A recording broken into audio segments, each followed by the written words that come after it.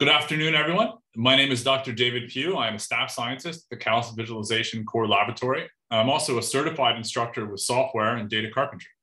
Software and data carpentry are two global nonprofits whose goals are to teach foundational data science and scientific computing skills to um, students, uh, research staff, research faculty um, at universities around the world. And uh, we primarily teach these skills through short um, hands-on workshops of the kind that we've been doing this whole semester, including today.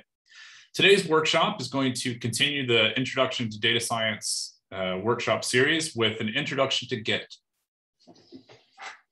So I will start sharing my screen now.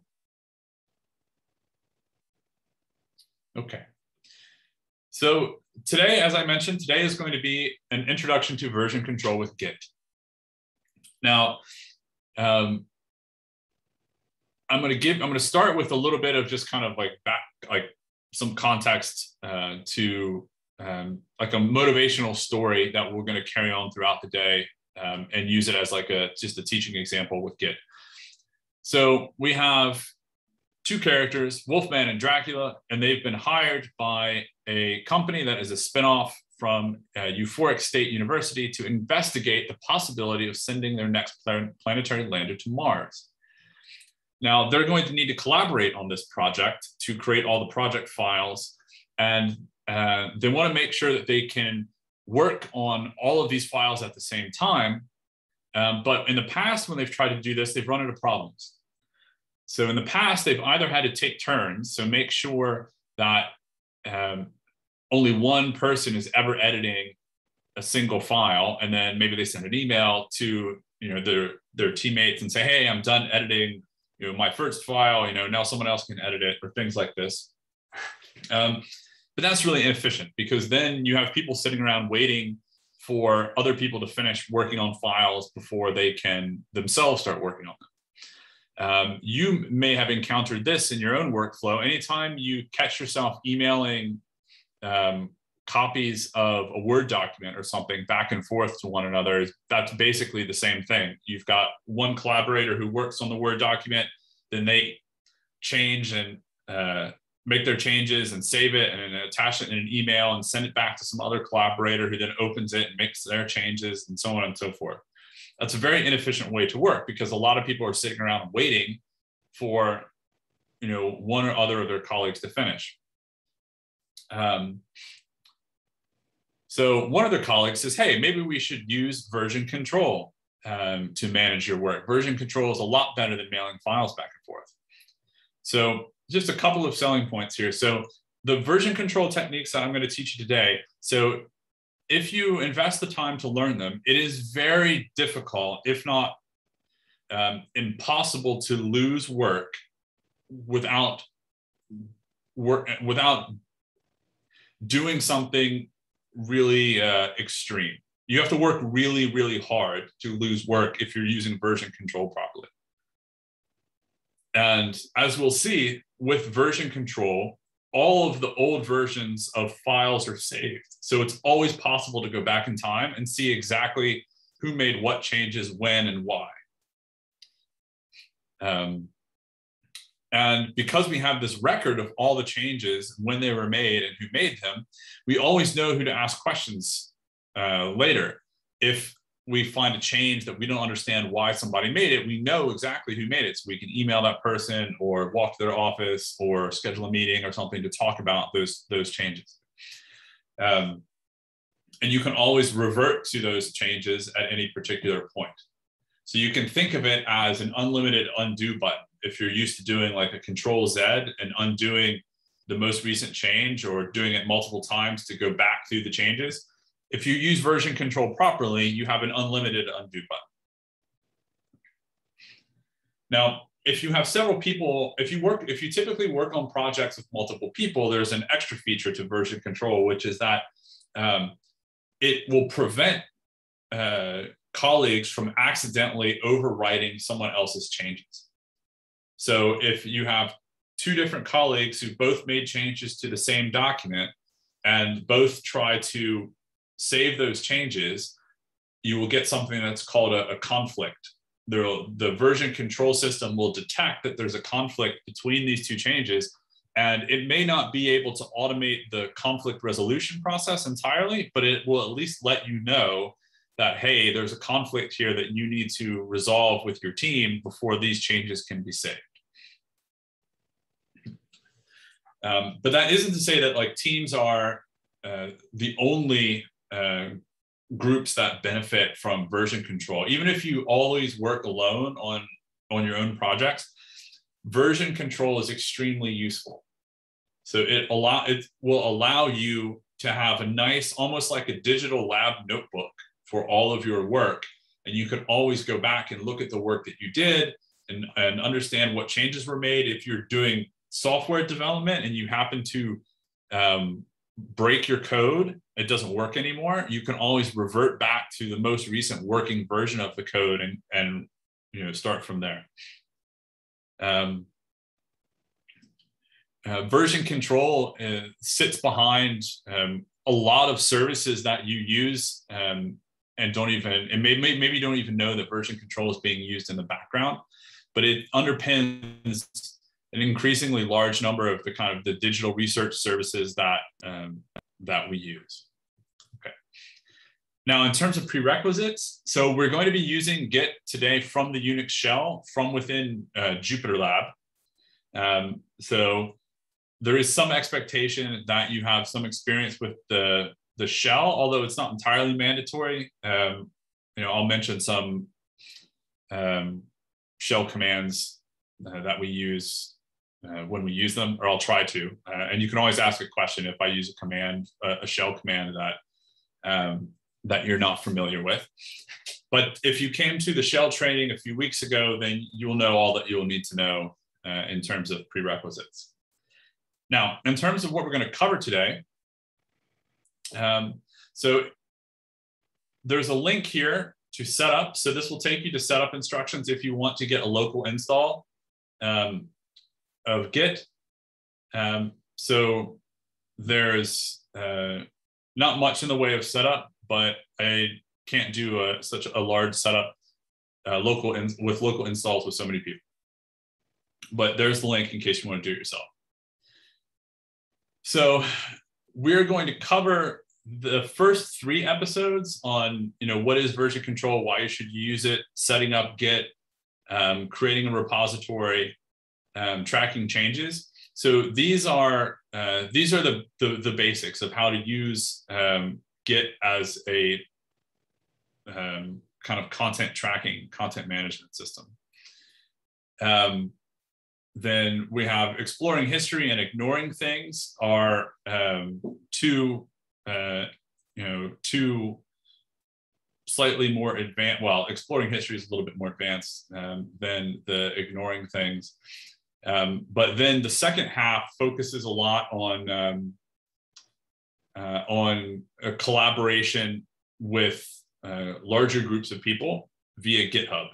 So the first half, say like the first six episodes, are going to be focused on using Git from within terminal, and then the episodes maybe seven, eight, and nine are going to focus on uh, using GitHub and um, showing you how to create repositories on GitHub and how to um, take changes that you make on your local laptop or workstation and push them up to this repository on GitHub and how to pull changes down that maybe other collaborators have, have added to GitHub.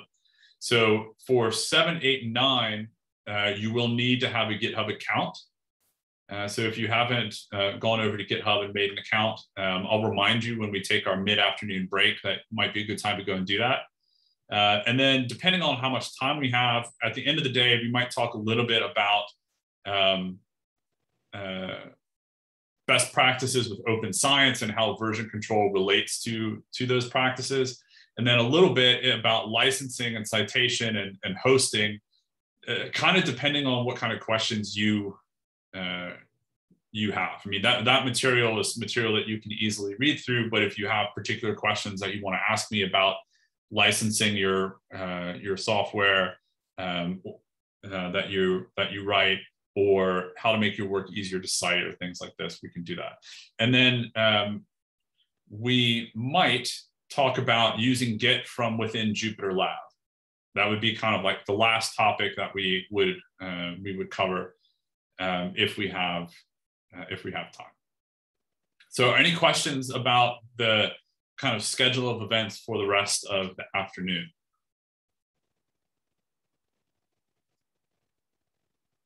Um, so Hui, yes, I will share the video recording, uh, not via email. It'll be posted on YouTube and I'll send the link around via email. Um, and then you can access it from our YouTube channel, probably tomorrow. Um, but certainly by the end of the week. Okay. Okay, so if there's no more questions, then I'll just go ahead and, and get started. Okay, so automated version control. So in this short episode, I'm just going to go over what version control is and try to provide you a basic motivation for why you should use it. And hopefully you'll come away with an understanding of the, the basic benefits of an um, automated version control system like Git, um, and then have a basic understanding of how, uh, of how version control systems work. Okay. So we can start with this kind of um, motivating cartoon, uh, as it were, uh, from phdcomics.com. And so I think anybody who has, um, certainly anybody who has done a, um, a long paper where they have to work closely with a, uh, a teacher or supervisor. You know, if you've a master's student and you write your master's thesis, then you will uh, experience this or some version of this. Or, um, or certainly if you're a PhD student and you're writing your PhD dissertation, then um, you will also experience some some version of this. The the basic idea where you know you write up what you think is a very polished draft that you would be happy to submit and be done with, and then you send it off to a colleague who then marks it up with changes and then emails it back to you. And then you you try to incorporate their changes and then email those back.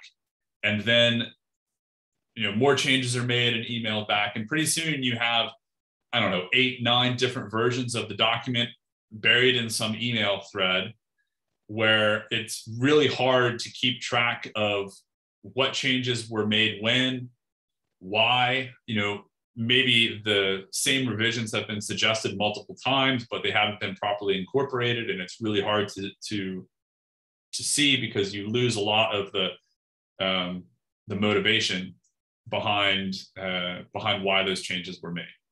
So the idea is that we want to avoid this. Um, we want to avoid getting into the situation where we're emailing documents back and forth and always constantly um, uh, having to, to make the same revisions over and over again um, or corrections on the revisions. There's a much more efficient way to work. And today I'm going to try to expose you to uh, the tools that you need to have a better workflow. Um,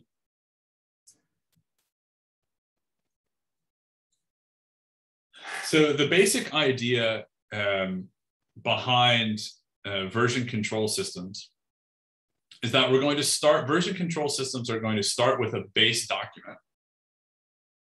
And then they're going to have a record of changes that are made at each step of the way. So if you here on the left, you have your base document, and then you maybe have some changes, and you apply those changes to the base document, and you get a new document. And then you have a new set of changes that get applied to the new base document, and you get a new document.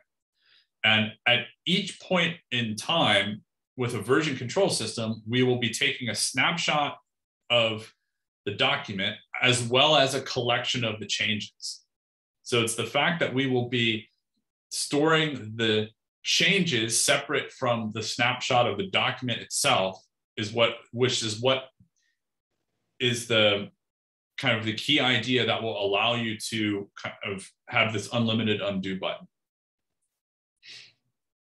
so that's important the idea of, of storing the changes separately from the document itself so this is going to allow us to apply different sets of changes if we wanted to to the same underlying document or maybe changes in a different order if we wanted to reorder the changes. So, but we're going to keep documents and changes, store them separately.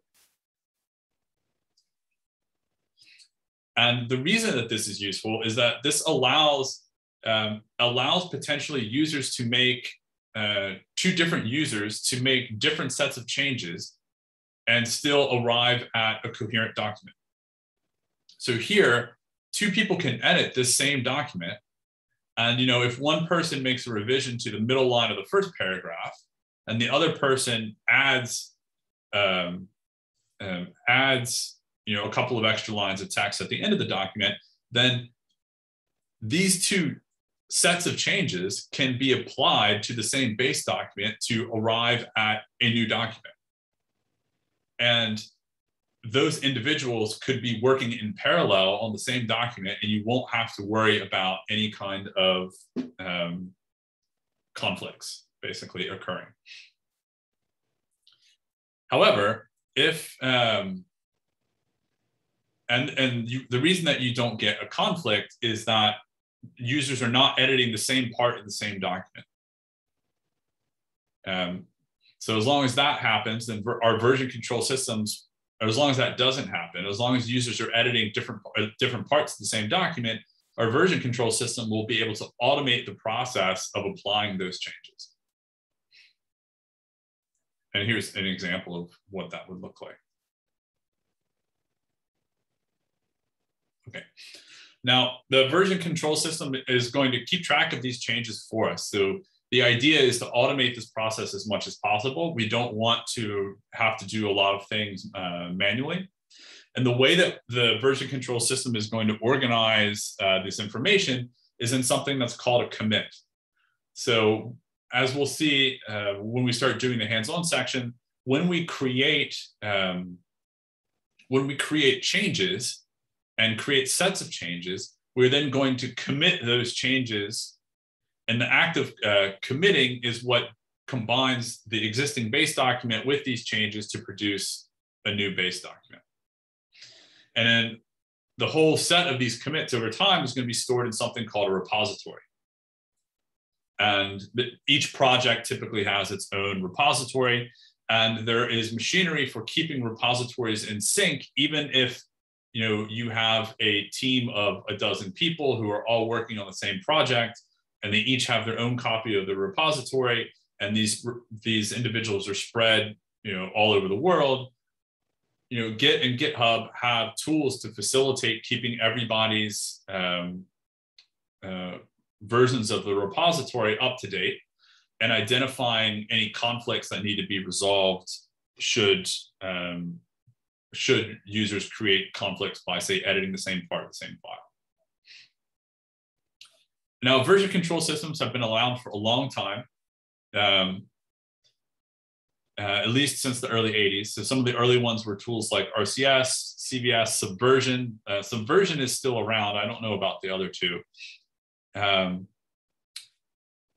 so modern uh, version control systems such as Git and Mercurial um, are distributed version control systems. And what I mean by this is that instead of having some central location, some a central repository that everybody has access to and edits the files, that would be like maybe like a Google uh, or um, sorry, like Microsoft SharePoint or, or Google Drive or something like a, that. Those would be examples of centralized document repositories where people could make uh, changes to the same document.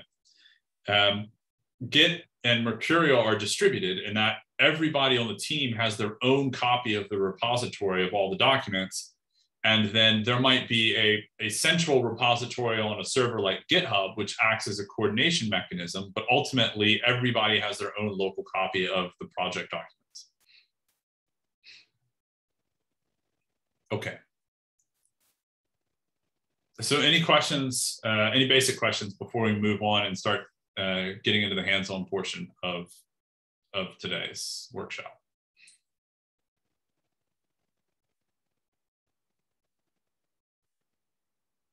Okay, cool. Well, we will just move right along then.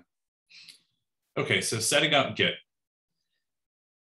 So in this section, or in this episode rather, we're going to talk about how to set up Git. We're going to do some configuration, which you have to do for the very first time you use Git on a particular computer.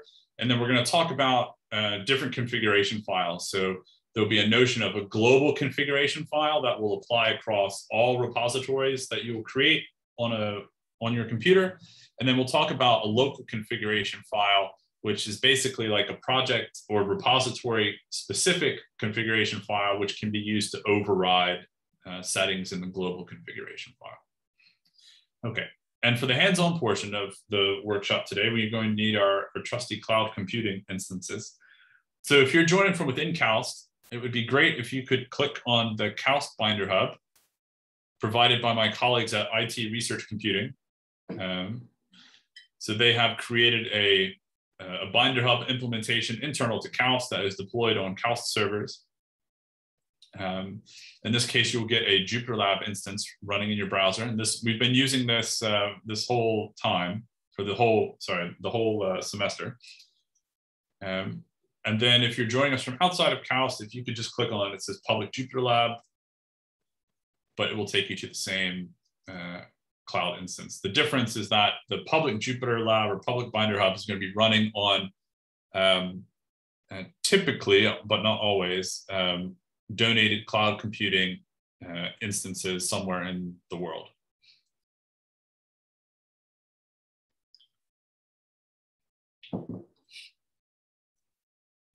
So I'm just going to go ahead and close this out. So this is the public Jupyter or public Binder Hub, which you can see here it says hub.gke2, which is Google uh, Kubernetes Engine Instance 2, uh, which is running on top of Google Cloud, um, paid for by one of the uh, grant awards that have been given to the Binder Hub Federation. So I'll close that. Uh, so someone else can have that instance and I will use the Binder Hub instance here at KAUST. Okay, and just a reminder, these links can be found on the GitHub repository for the workshop series right at the top, okay?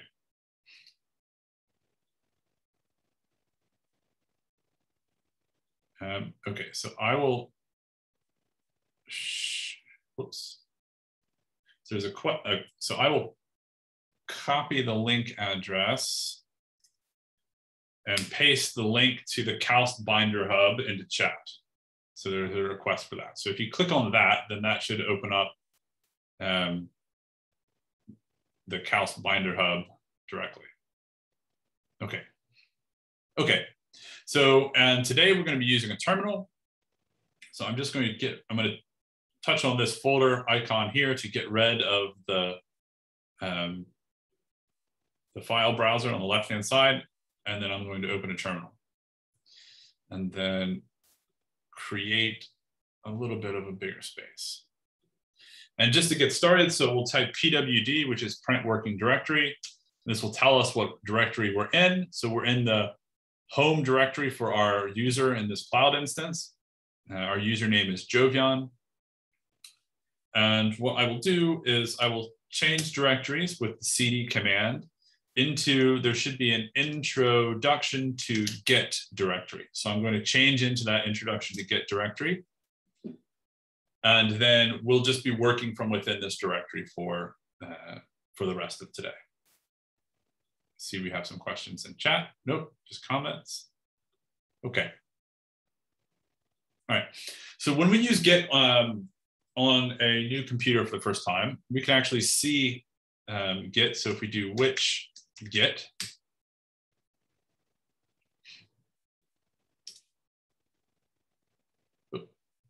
We can see that here is the Git executable that is inside of our conda environment. Excuse me. So we have, we do indeed have Git installed. There are a few things that we need to configure. So first we need to configure our, our kind of our name and email address, preferred text editor, um, and these are things that we prob probably want to um, set globally and across all of our projects. So when we're working on the command line, Git commands typically have the form of um, the program name. So they're going to be Git followed by space, followed by um, some verb, which is going to be a command, um, and then some options.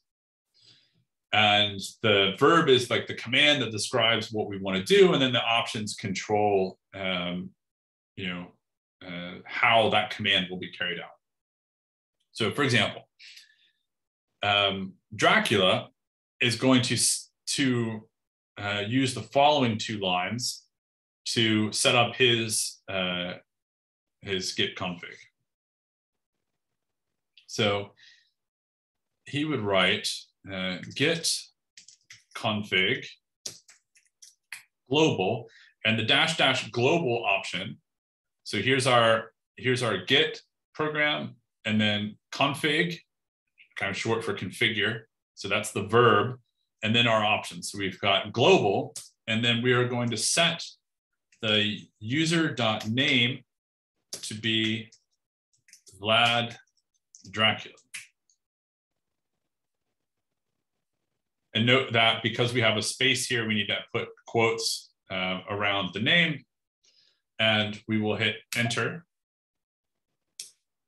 And then we will do git config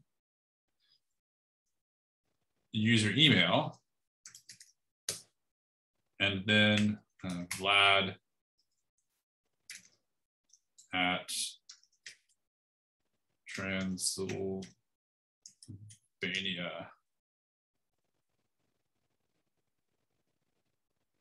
Like this. Okay, now, so these are the two parameters that you will want to set. You're generally going to set them to be global because you will probably have the same username and user email for all your projects. Um, but if you you can override these on a repository or project specific basis if you need to.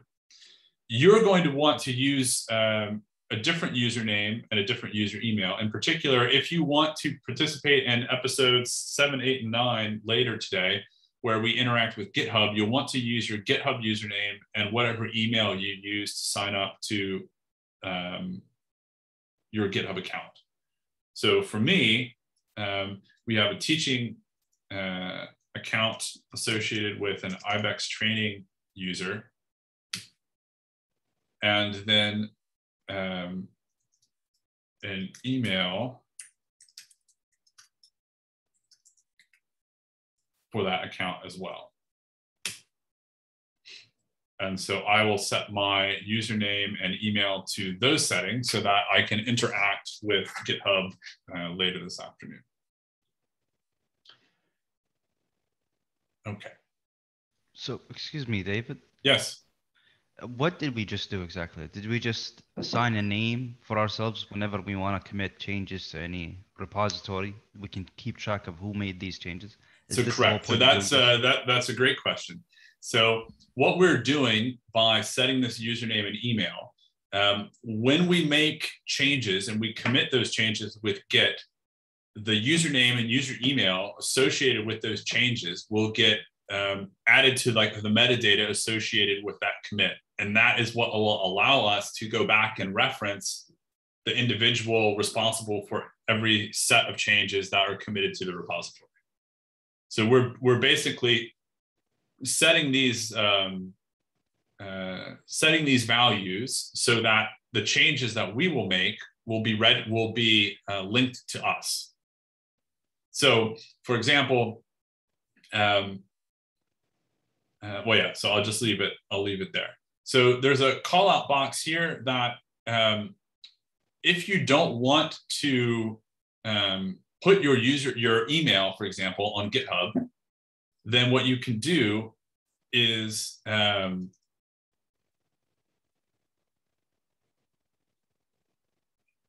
you can just copy. So what I could do is instead of putting the actual IBEX address, I could put my username and then I could put in this kind of filler email address, which is at users.noreply.github.com. And this would allow me to keep my um, my user or my email private so that it won't show up all over my GitHub repository um, if I didn't want that to be uh, public and public information. So typically, if you're using Git to contribute to an open source project, um, and the project development is done in the open, it's almost always the case that you will use, you will have some email that you will want to use so that uh, collaborators can reach out to you uh, directly if they have questions. Okay, now, um, one other configuration option we need to set uh, is a little bit technical, um, but we need to deal uh, coherently with line endings. And the reason for this is that, so Mac and Linux, um, Mac and Linux have, uh, are both Unix-based. Um, Mac and Linux are both Unix-based systems and they use the same kind of hidden characters to specify the end of a line in a file. Windows is not a Unix-based system and uses a completely different um, character to um, specify the end of, it's a hidden character to specify the end of a line in a file. So if you're working on a team and there's a mix of Mac and, and Linux and Windows operating systems, then anytime a Windows user opens a file that you created on Mac or Linux, Windows is going to it's going to change all the line ending characters to be Windows line ending characters. And then if someone saves those changes and then commits them, then when you take those changes and start working with them, Mac or Linux is going to change the line ending characters back to Mac and Linux or Unix specific line ending characters. And this is just really tedious and annoying. And so we want to completely get around having to deal with this entirely by just configuring our Git repository to always store Unix-based line endings, which basically means if somebody is working on Windows and pushes changes that have Windows line endings, then Git will automatically strip them out and replace them with uh, Unix-based. And the way that you do this is it just depends on what operating system you use. So if you are using Linux like we are here, then we do git config global uh, core auto uh, CRLF, which is like the, I think the, the short for the, the line, line endings. And we set it to be input, which basically just means take the user's input for the line endings. Okay. And if you were on Windows, then you would want to set um, that to true, basically.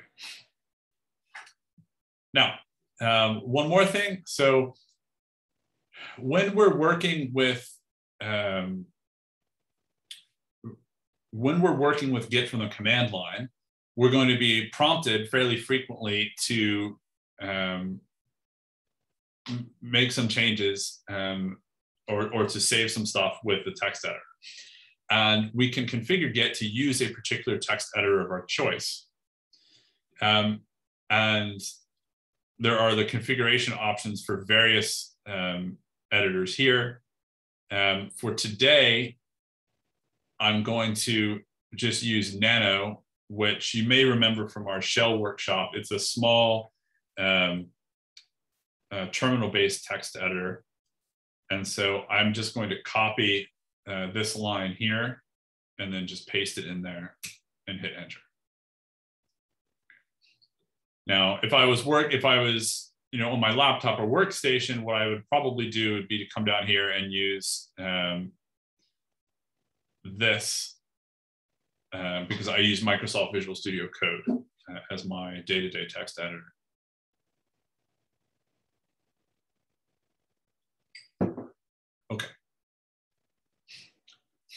Um, on many Linux systems, the default text editor is Vim, which is a very powerful but high uh, text editor with a high learning curve or steep, sorry, steep learning curve. Um, and this is the cryptic sequence of commands that are required to exit Vim should you ever get stuck in Vim. Um, and if I will, I'll just demonstrate that. So I think if I type uh, VI and hit enter, oh, I, don't even have Vim on here, I don't think. Oh, good. Yay. I didn't even install Vim, so I saved you from the uh, the frustration that is getting stuck in Vim. Um, okay, yay me. Okay. right. Um, one last uh, configuration that we want to make. Let me just check our version. So um, we are going to uh, configure the, the name of the branch that's created when we initialize a new repository. Um, the default is um, the default is master, but um, many researchers are um, moving away from using uh, like master and master slave kind of uh, labels for um, well in general. And so in moving forward git and github use main as the name of the branch of the default branch uh, but we need to actually manually set that. So we can manually set that with this configuration option. Okay. Um, right. So these commands, these five commands, we only really need to run them once. And that's why we use the, the global flag to tell Git to modify our global configuration file with these settings. And if we want to list, look at what our configuration file looks like, we can use the git config command with the list option. And this basically shows us the configuration file. It like it's like another way of using the command cat on the configuration file itself. Um, so we can see in here the settings that we changed. So here's our uh, IBEX training. So this is my username and then my user email. And notice that although I made several changes to these usernames and emails up here, the last ones, every every change overwrote the previous setting. Um, and then here was our line endings, and then nano, and then switching the default branch to be main instead of master. Okay. Um, never run into anybody who had to deal with proxy networks. Um, when you're working from the command line, you will often want to read the help manuals, and you can do that with git, git, and then the command um, followed by either dash h or dash dash help. Um, oh, there's no man file. Ah, okay, so you need to use dash h.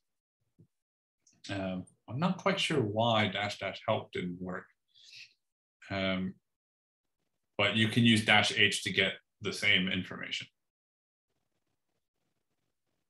Um, and then for a more general help menu, if you do git help, then uh, with git help, you'll see it's like these are the high level commands. And today we're going to be working mostly with, um, we'll see uh, git init, um, git add um, and commit, we'll be using those quite a bit. As when we get to seven episode seven, eight, nine, we start dealing with GitHub. We'll talk about pulling and pushing and cloning and um, git status which is probably the command we'll run the most today, and you'll see, see that in a minute. Um, and that's it. Most of these other commands we won't need to touch today. And in fact, most of these commands, other than the ones that I've just mentioned, I don't even use. So the commands that I'm going to teach you today cover probably well over 99% of Git commands that you will need in to to work either by yourself or to collaborate with others. Um, oh, and git diff. We'll be doing git diff. That's an important one too. And we'll talk about each of those commands as we get to them. Okay. Uh, any questions about uh, any questions about configuring Git?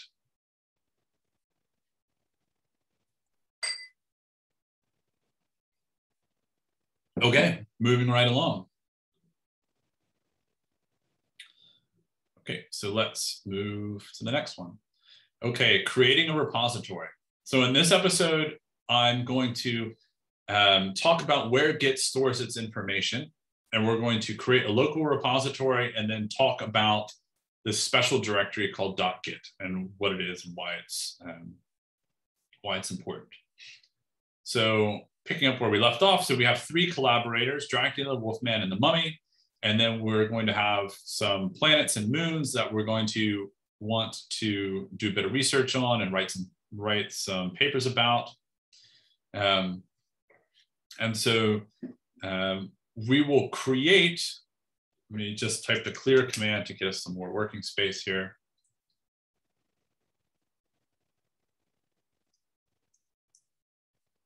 So there's um, uh, a question and if we need to use different credentials for different Git repositories, do we use the dash dash local for each project? So um, uh, the short answer, so let's look at the git config help. Um, and the answer to that is yes. So we have our global configuration file. And when we are um, inside of a repository, which we'll talk about creating a repository in a minute, you can use the um, local option to overwrite settings like username or email um, for uh, pro or for projects individually. And so I actually do this sometimes because I have personal projects and then I have and a personal GitHub account, and then I have work that I do here at KAUST. Um, and so I have my own um, username on GitHub that is KAUST specific. And then I have my KAUST email. And so I try to keep my personal projects using my personal GitHub username and a personal email and my KAUST projects using my KAUST username and my KAUST email. This way I can um, you know, kind of keep my work and my personal uh, development stuff separately. But I do work on the same machine or the same set of machines for all my work. Uh, and so I need to do need to change the configuration at the project level. Okay, good question. Okay. Um, so now what we're going to do is we're going to create a, a project or directory for our project. So we're going to use the make dir command to create the planets direct, a directory called planets. Okay. And so now if we run the list command, we can see that we've created this directory planets here. It's empty, there's nothing in it. But now we can use the cd command to change into the planets directory. Okay. Now, inside this planets directory, we're going to type the command, our first git command, git init, short for initialize. So that's git, and then the verb is init, again, short for initialize, and hit enter. And then we are um, told that we have initialized empty git repository in, and then we're given a path to a directory. So the absolute path is slash home slash jovyan, that's our user, slash introduction to Git, which is the directory that we were in, slash planets, which is our planets, um, the name of the project directory that we created, slash dot git. And so this is the special dot git directory that we're going to talk about. So the dot git directory is our Git repository. So a Git repository is a specially structured directory inside your project directory. And because it starts with a dot, it's hidden. So if we run an ls, a simple ls command, it will look like our directory is empty. However, if we run a ls-al to show all the files, then we'll see that there are in fact three directories here. Dot, which is just a reference to the current directory, dot dot, which is a reference to the parent directory, in which in this case, uh, introduction to Git, and then our special dot Git directory, which represents our Git repository. Okay.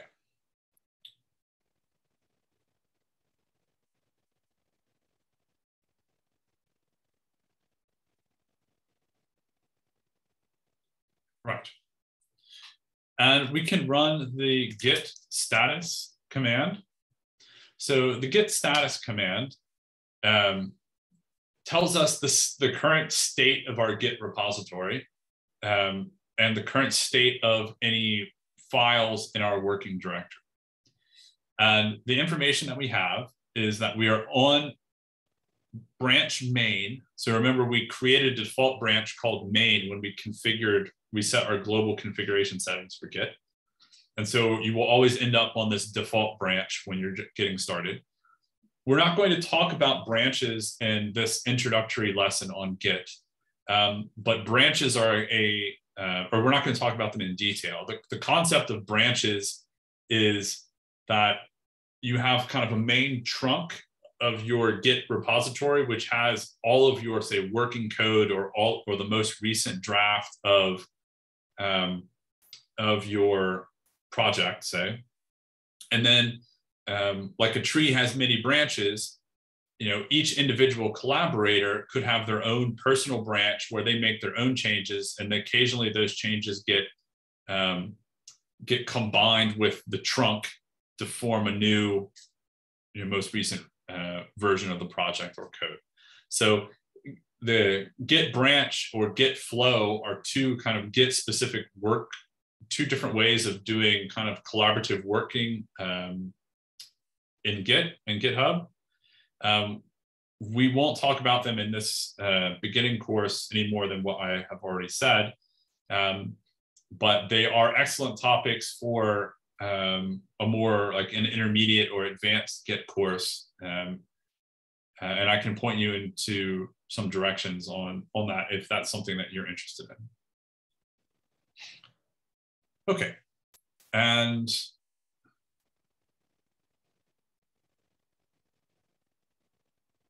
okay, so now we have a couple of exercises here. And so I would like to give you a few minutes to actually try these exercises um, um, on your own. So note that in this first exercise, um, we're not, uh, we don't have a desktop or anything like that. So we are already in the planets directory. So you don't need to run these first two, uh, these first two commands. But then you can run the rest of these commands um, and see what they do. And then we'll come back uh, in a few minutes and talk about them. And then um, we'll talk about this uh, um, exercise, which talks about how you can correct a mistake where you accidentally initialized a Git repository in a directory that you didn't mean to uh, initialize a Git repository in. As uh, you will you will do that at some point for sure. So I'm just going to go ahead and set a timer for uh, a few minutes, so maybe three minutes, and take a look at those exercises, and and then we'll talk about them.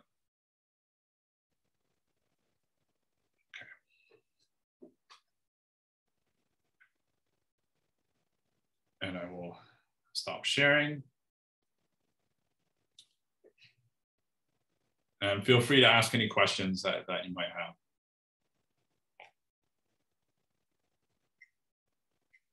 Otherwise, I will just sit here and drink my tea.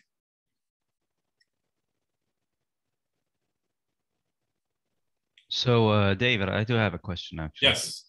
Uh, this might be a little too forward. I personally don't know how to use Git, but I do know programs like VS Code.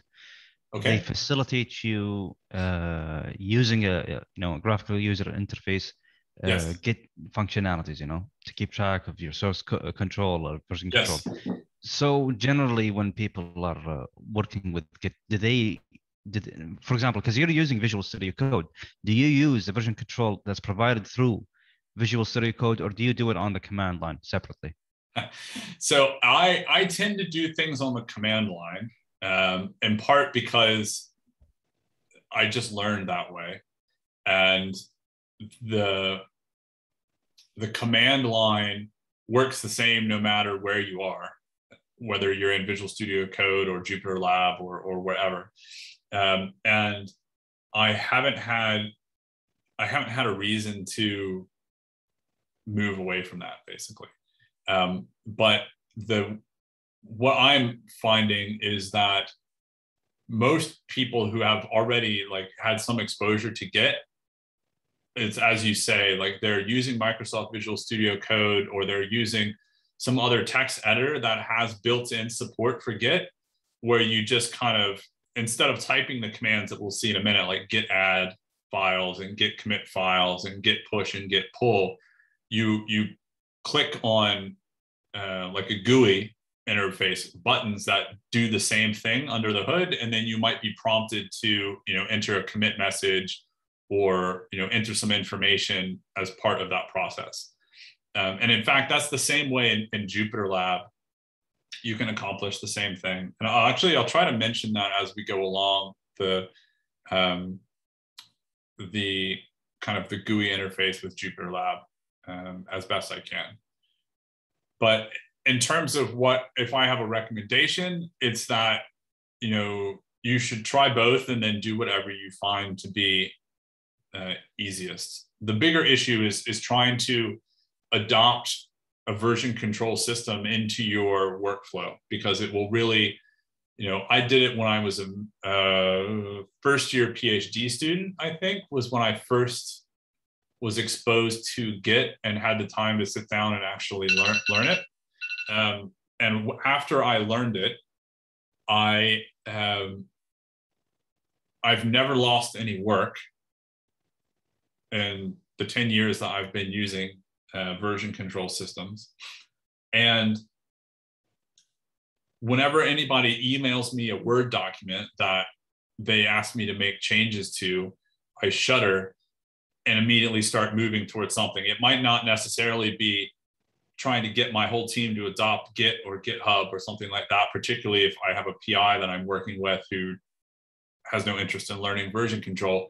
But even switching to a shared document like Google Doc or a Microsoft Word document that is on a um, a shared server someplace where everybody can edit the same file in the same place.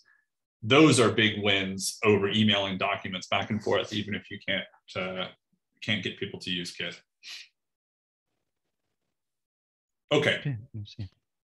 Um, let's, so that my timer just went off. So let's go back and talk about, I see there are some extra questions about the exercise in the chat. So let's go back and talk about the, talk about the exercise. Okay, so, um, so we created this planets uh, directory and we created a new Git repository inside uh, planets. So Dracula also wants to um, create um, a directory for any information that they're going to collect on various moons that they might want to uh, that they might want to study. So Dracula creates a directory called moons inside the planets directory. So here's our moons directory that Dracula created. And here's our Git repository. Okay. And then um, he says, well, okay, so I created a directory. And so just like in the planets directory, I better change into my moons directory and then run git init again. And so now I've initialized an empty git repository inside the moons directory, which is inside the planets directory, which has its own git repository. Um, and the question is, is this required? And the answer is no, it isn't. You don't need to do this. So once you have your project directory and you've initialized a Git repository inside your project directory, this will allow you to version control files and folders containing other files and folders inside those folders containing other files. So basically, we talked about the, um, the file system as having this tree structure in our bash uh, lesson a few weeks ago, so once you've created a Git repository inside a directory, you can version control everything in the file system that sits kind of underneath that, that directory. So that whole kind of subtree within the file system that starts with the your project directory. So you only need one .git directory for each project directory. Right. Um, and if we ran git status, okay, so we're still get the on branch main. Um, so one of the things that uh, that you can do is if you run the git status command inside a directory that does not contain a git repository, you will get this output, this error. So if you're kind of ever in doubt, you can run this command before you run git init. And as long as you're not inside of a git repository, you will get this, this message. All right, so more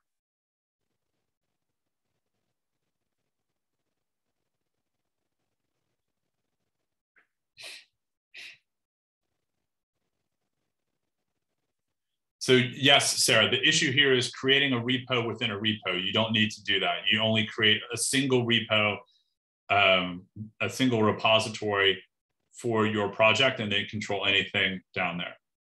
Um, so what we're going to do is, so we created this git repo inside a repo and we want to get rid of it.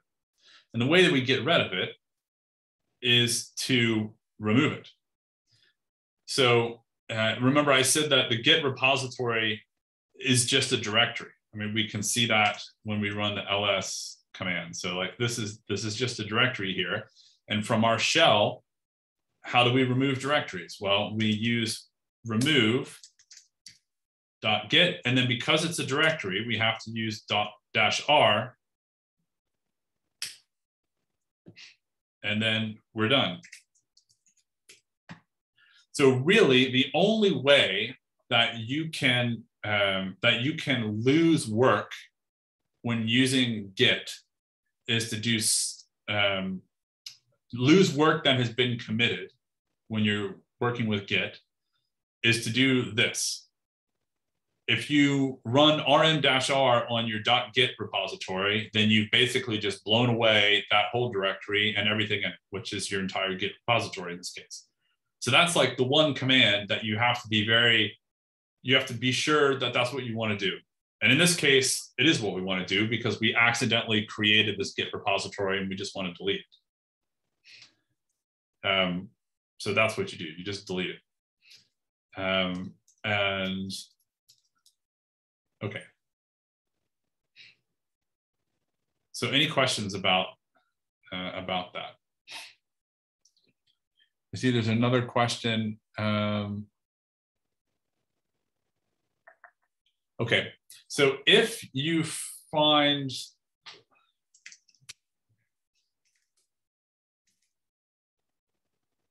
if you end up in this situation where instead of saying on branch main, it says on branch master, then um,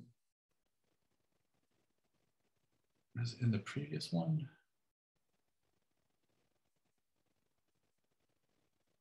No. Ah, here it is, right here. I was going too fast. So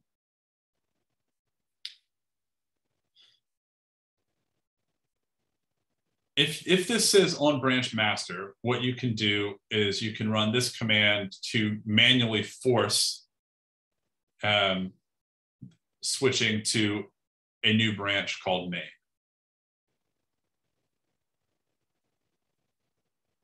So it's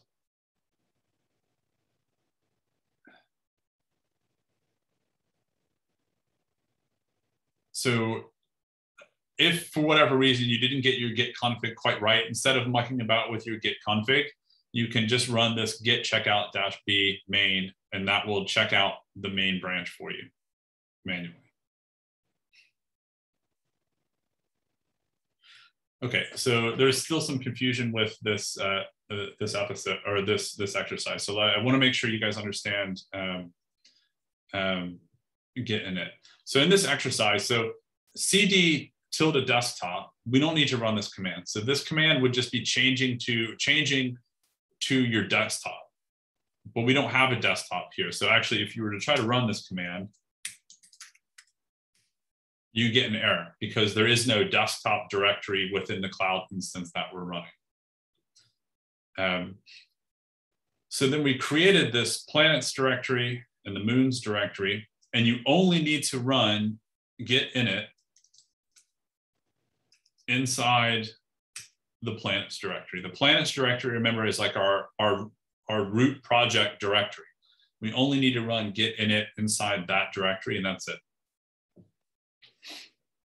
Every other directory or every other file that we create within the within our project directory, we can version control from the same Git repository.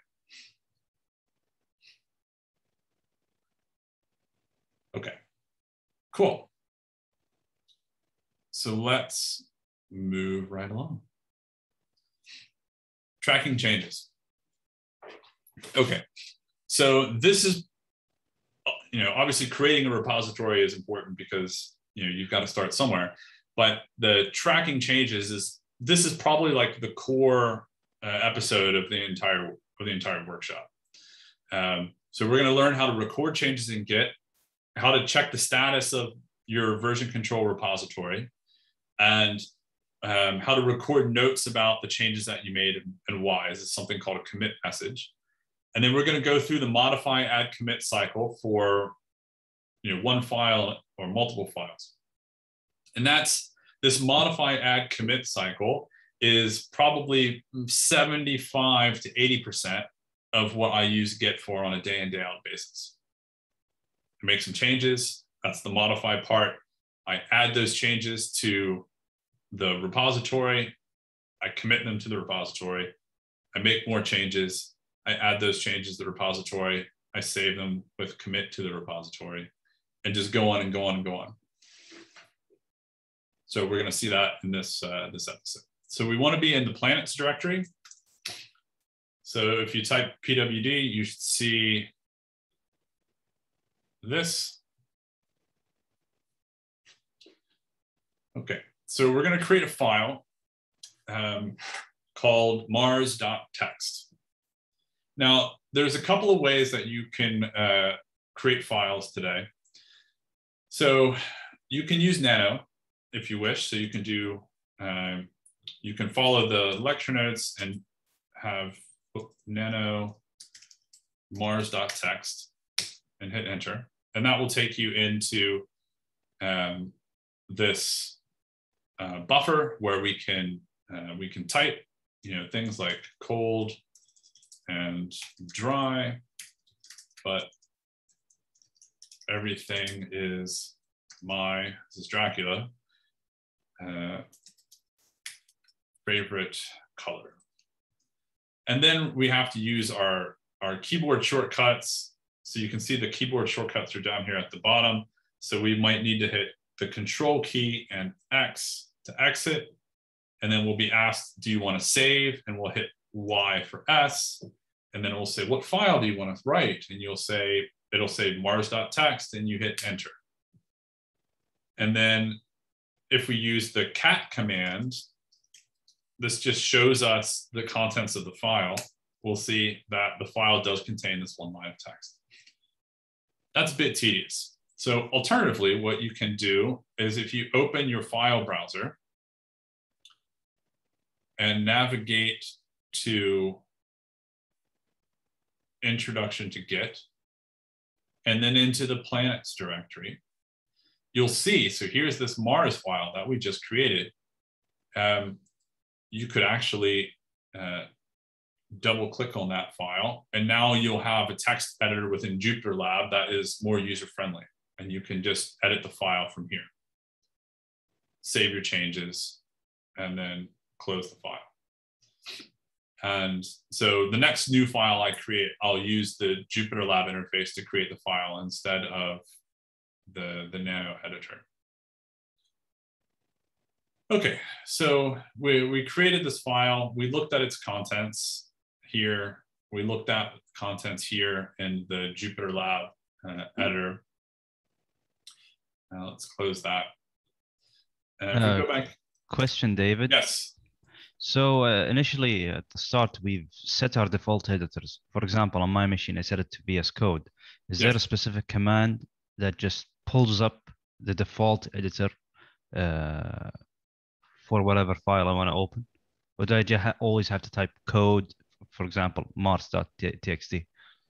uh, you'll need to type uh, like code and mars.txt. So like the name of the, um, or what what you can do if you're using VS Code locally, then the easiest thing to do is just to open VS Code, point it at the planets directory, and then open a terminal within VS Code. Right, right. But I mean, what was the point of setting the default editor in the beginning? That's, ah, I guess that's my question. Right. So the point of setting the default editor in the beginning is if you are working directly from the terminal, basically. So then if you're working from the terminal and Git, Git will occasionally prompt you to automatically open a text editor for you when it needs information from you, um, like a commit message or something needs you to type some other kind of information. And depending on how you set the default editor, it will open one or the other editors. Ah. Um, and so in our case, we won't encounter too many instances where Git will automatically in the background. What, what Git does in the background is it actually would run um, code, the code command, and then the file for you. It would kind of do it in the background.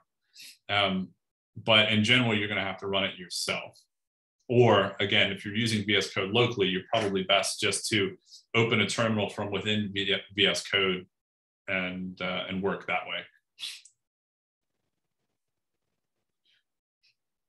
Okay, clear. Thank you very much. Yep. Okay. Um, right. Okay. So now that we've made, uh, we've created a new file, we've added some text to it. If we run git, uh, not statu, status, um, we'll see now we have some um, some more content. So we have in red here, we have, and this might be, well, it'll be red if you're using the, the compute instances here. If you're using a local Git, it may or may not be colored. I don't know. Um, we have mars.txt and this directory ipynb checkpoints, which I'll tell you how to ignore in a minute um, or later today but these are git notices that these are untracked files because it, it says ah I, I, see that there are files and folders inside of this git repository directory or inside of this directory which contains this git repository but i don't have any record of these files in the repository at all. So they're not tracked yet. So i'm going to mark them as red to kind of tell you that hey you might want to run this git add and then the file name to actually add the file Okay, so we will follow the instructions. So we will use the git add command, and then we will pass mars.txt, and we will add the file mars.txt to the repository. Okay, now if we run git status again, we'll see yet, um, we'll see a different uh, setup. So now in green, we have some changes to be committed and we have a new file, mars.txt. So basically now Git's made a little note in the in the repository that there is this new file, mars.txt. But we haven't actually saved these changes yet. We've kind of put them into a, um, I don't know, you can think of it as like a loading dock or like a temporary space. And the reason that we do that is that we might have other files or other changes that we want to combined together in the same set of changes. And then we want to commit all of those changes together as one kind of commit to the repository. So that's why we have, we're going to have this like staging area and then the repository where we commit from the staging area to the repository. And I'll, I'll show you there's some, some pictures about that down here that will make it maybe a bit clearer. Okay, so let's use the uh, the git commit command to commit these changes. So I'm just going to run clear, I think. Yeah, so clear just to clear out the, the workspace. Now, if I run git commit, and then I need to put a message. And so this is a the commit message, and a commit message um, is like an explanation of what changes were made or why we made those changes typically you, you want your commit message to be more about like why those changes were made rather than what the changes were because you can always go and look at the old version and the new version and see what lines of the file were changed the commit message adds helpful context if it explains like why you made those changes Um, but you know, that's just kind of a, a bit of advice on how to write useful commit messages. So um, why did we make these changes? Well, because we were uh, started uh, taking notes on Mars as possible base. And then we hit enter. And then what we get is the, the, um, the response of from making the commit from the Git repository is to provide, so this is the name of the, the branch that we're making the commit to. This is something that's called uh, the commit hash. We'll talk about that in a minute. Then we see here's our commit message that we just typed. Then we get some summary statistics like, well, there was one file changed and we added one line to that file. And then because this was a new file that we created, um, this file was created um, and this create mode relates to file permissions, which I'm not going to go into right now. And then this is the name of the file. Okay. Now, if we run git status, again, you can see git status is like the best command. We run it all the time. Um, the uh, we see that we have we're on our branch main and we still have this weird directory of untracked files, um, but we're going to ignore that in in a minute. Um, but other than that, we don't have any, um, no untracked files or no changes to be commit to be committed. Okay, so that's nothing to commit, working directory clean is usually what you will get. Okay, now another command, git log, whoop, not git low, git log, so git log gives you a kind of a reverse chronicle log, reverse chronological order listing of all of your git commits. So here we have a commit, and here we have the full commit hash, which is the commit hash is just a unique identifier for that set of changes in the Git repository. So it's a, I think like a 36 character string um, and you can see the first uh, seven characters are listed here. Like when we made the commit, we get the first seven letters or seven characters, but the full commit hash is, uh, I think like 32 characters or something like that long. Okay. And so as we build up changes, we'll see this git log will get longer and longer and longer, um, and we'll navigate it and do some other stuff. Okay. Um, right. So I mentioned at the very beginning of, of, the day that version control systems like Git store documents and changes separately. So that that begs the question of, well, where are the changes? So, um, okay, so there's a question in chat. So what do we, what exactly is meant here by commit? So um, let me see if, okay.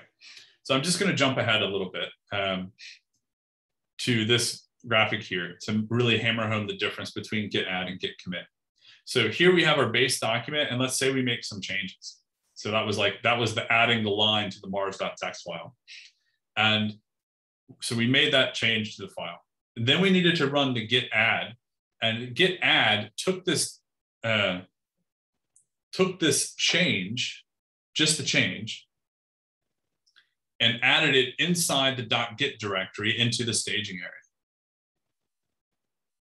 Now, we might have wanted to make a whole bunch more changes, each of which we would need to add to the staging area or change other files and add those to the staging area. But once we had a collection of changes that we wanted to save permanently to the repository, we run the git commit command, which collects these changes and then drops it on top of the repository stack. And with that commit, we add a little note, a little message to our future selves or to our collaborators about like, why did we made, why did we make those changes? Okay. So we're going to do this process a lot, kind of like over and over and over again. And then um,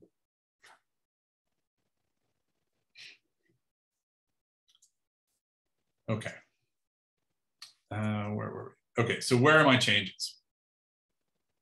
So if you run like ls, you'll see that, you know, here's this file, but what about the, so that's the file, but what about the changes?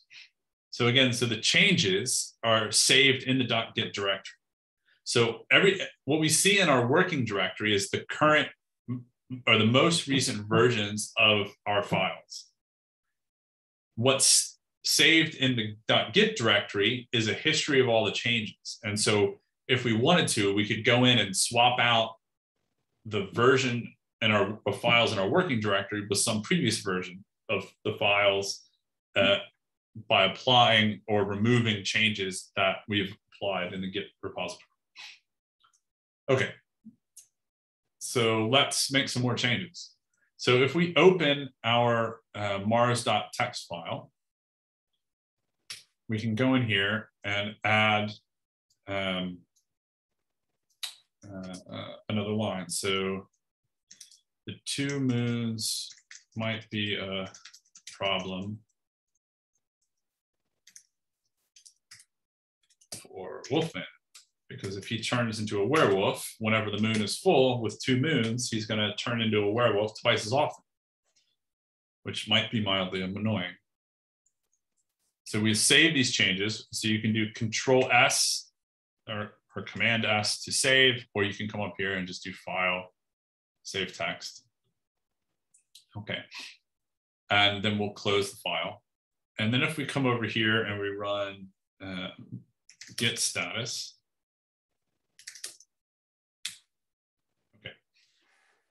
So now git detects that we made that change. So it sees that we've made modifications to mars.txt that we have not added um, yet. Okay. So again, we've added the changes. So if we come down here to our graphic, we've made a change and we've added it, uh, or sorry, we haven't added it yet. We haven't done anything. We've just made the change and uh, it tells us that we have not staged these changes yet for commit. So staging is the process of kind of moving the changes to the staging area using the git add command. Okay. Um, so now we're going to learn a new command called git diff. So if we do um, git diff and then mars.txt, we get some information about the differences of the modifications that were made. So this tells us the difference between the mars.txt that is saved in our, um, our current working directory and the version of um, mars.txt that uh, exists inside our Git repository. So you can see, so here's the kind of the version that would be inside the Git repository. And then this is the modification that we have in that file in the current working directory.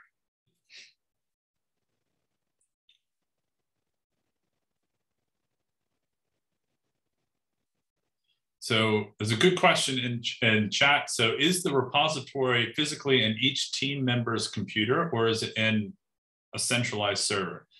It is physically in each team member's computer. There might be a version, an extra copy that exists on GitHub, for example, in a centralized location that everyone can use to coordinate. Um, but right now, each individual team member is going to have a copy of the repository on their local computers. And that will always be true.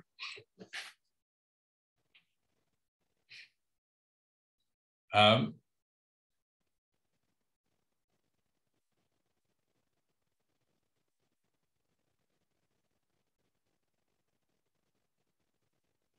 uh, okay, so if you're using Nano, so of course, if you do Nano um, Mars.txt, yeah. So this opens Mars.txt. Now, you can't um, type your changes and then close it like you would uh, you're closing a text file because that will close your terminal. So what, instead, what you need to do is you have to use the keyboard shortcuts to close not the whole terminal, but just this buffer where you're where you're typing. So to do that, you've got to use these shortcut commands at the bottom, like uh, Control X, for example, to exit out. Alternatively, if you're having trouble getting Nano to work, don't worry about it because Nano is not a text editor that you will uh, generally ever have to use, except in slightly extreme situations such as this. What you can do is just use Jupyter Lab to navigate and open the uh, create new files and open files that way.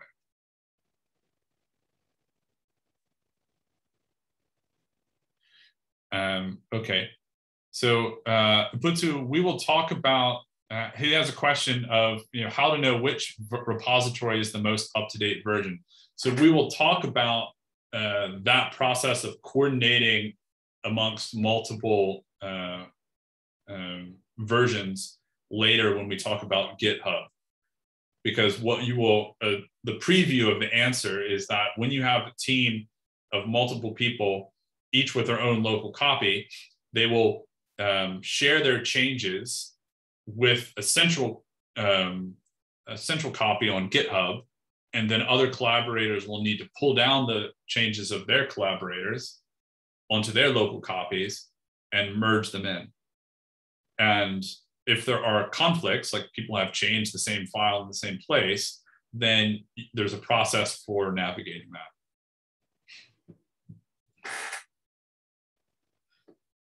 Uh, another good question. So if somebody makes mistakes, how to revise the commit instead of making another commit? We're, we're going to talk about that. Um, that's an important topic. We'll talk about that later this afternoon.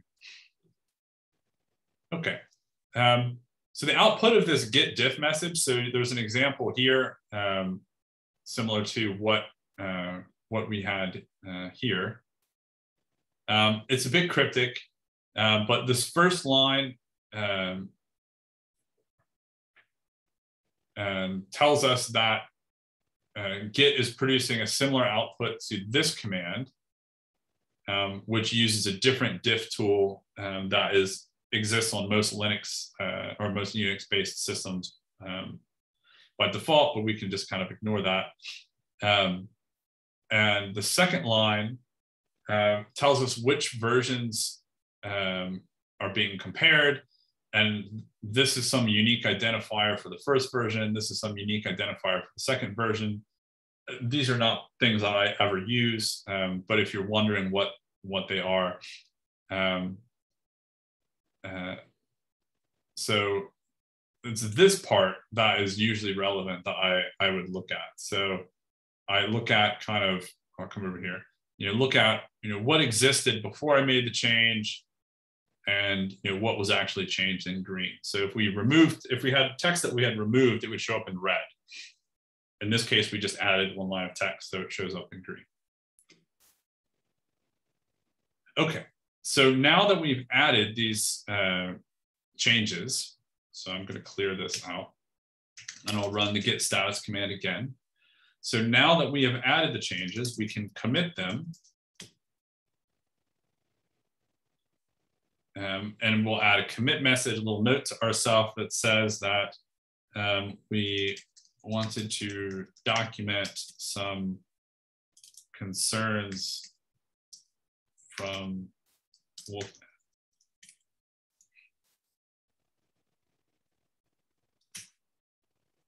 Okay.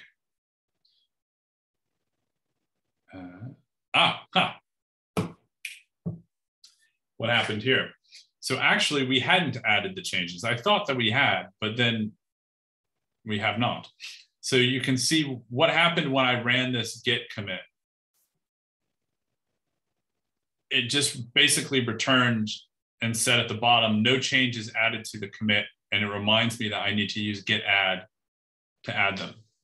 So first I need to do git add mars.txt. Um, and now we're ready to do git commit. Okay, and now we get the, the kind of the response that we wanted, that we have actually committed things. And if we were to look at our git log, we can see now that we have we have two commits and they're in reverse order. So we have this most recent commit. And then before that, we had the original commit that we made. Okay. And again, it's important that we have this separate staging area.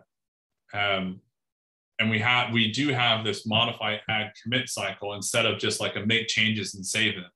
And the reason is that when you have a, a project that has many files, you often want to group together changes to different files as one and save them as one logical step.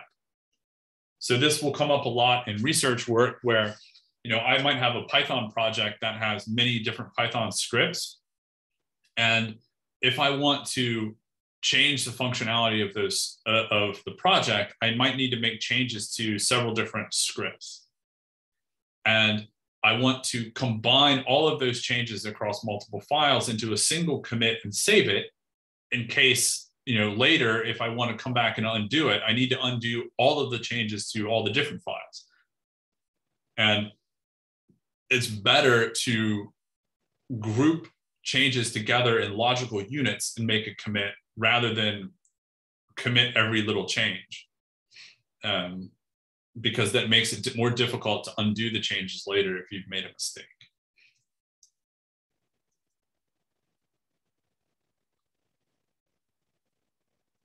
So uh, diff returns nothing if we committed the changes. Yeah, so if you uh, actually, as we'll see in a minute, as long as you've added the changes, git diff will return nothing because what git diff will compare is this version here, the version in your working directory with the version inside the .git directory, which includes both the staging area and the, the repository. But we'll, we'll see an example of that in a minute. Right, okay. Um, so let's add, let's make another change. So we're gonna open our mars.txt file again. And I'm gonna add another line, um, but the mummy will appreciate the low humidity.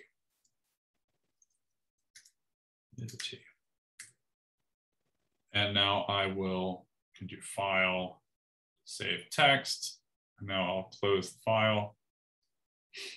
And so now if we do um, git diff, we'll see that, well, yep, here git sees that we've added this new line to the file. Okay, now I'm just gonna clear this out again. So let's add the file again. So we're gonna do git add mars.txt. And now if we run git diff, so that Sarah, this gets to your, uh, your question. So we added the changes.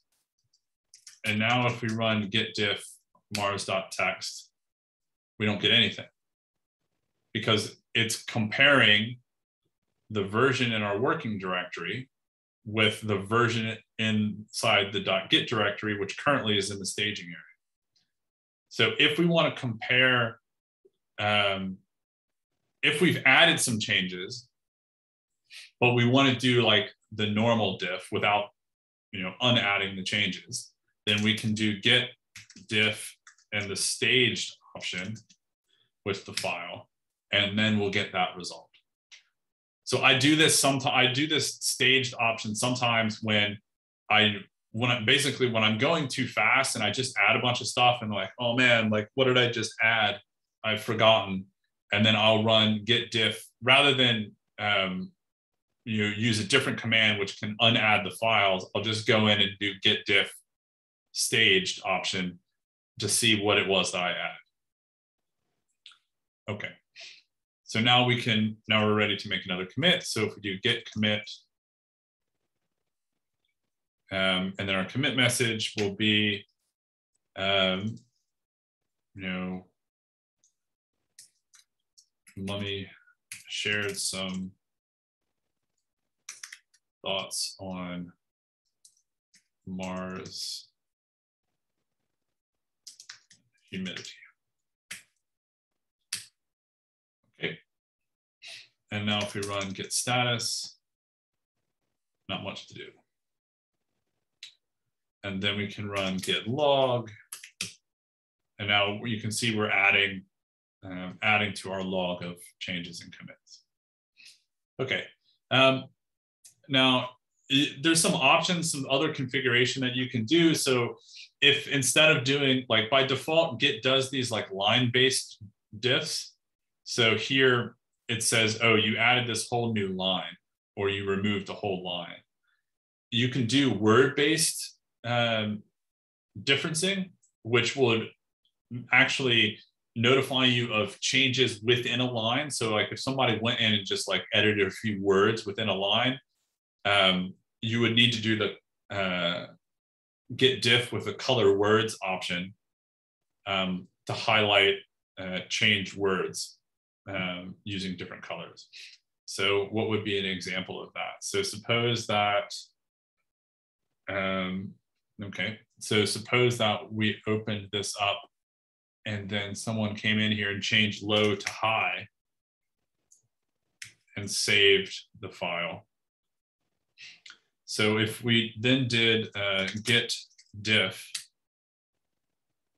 okay, so here with just by default, git diff will say, oh, well, it looks like what happened is that somebody deleted this whole line and then added this whole other line. But these two lines are the same with the exception of this individual word. So if you did uh, git diff with the color words option, and I'll put the file name in there this time, you'll get something like this. So you can see, really see more in a more fine grained way what the actual change was. Um, this is kind of a personal preference. Most of the time, I don't bother with the color words option. Um, it, I could see how it would come in handy if you were doing a lot of like fine grained editing of either uh, like a text document um, uh, where you were being really particular about the words that you were using with your colleagues, uh, or if you're editing some some code and you're writing a bunch of functions and you were going back and forth and changing like the different arguments for functions, then I could see that as being a useful application of, of this colored words uh, option. Um, right, so I'm gonna clear this. And now I'm gonna do a git status again. And so now I've got these changes um, that uh, that I made, and I kind of want to unmade them. So I'm going to follow here and then do git restore mars.txt. And now if I run the git status again, you can see that the file modifications have gone away. And if I was to open this file and look at it, now the change of high has gone back to low. So this uh, git restore command um, kind of takes changes that were, um, or takes modifications that were made that had not been added yet and kind of just removes them. You can think of it as like delete. I use that command a lot um, when, get back to, so I, I use that command a lot because it, you know, I, I do a lot of software. I use Git to mostly version control software. And so I'll typically be writing some code and testing the code and writing some code and testing the code. And if I, I make some changes to the code and I try to test it and it breaks, um, sometimes it's easier just to run uh, git restore and the file name and blow away all the changes that I made and go back to a version that worked and then start over rather than go back and, and kind of try to figure out what's what else is going on. So I, I use that git restore command a lot. Um, you can make some settings changes to the log, um, the way the log information is displayed. I don't want to go um, uh, go over that too much. Uh, I do want to mention um, directories. So Git tracks files, not directories. So let's suppose if we made um, another directory spaceships,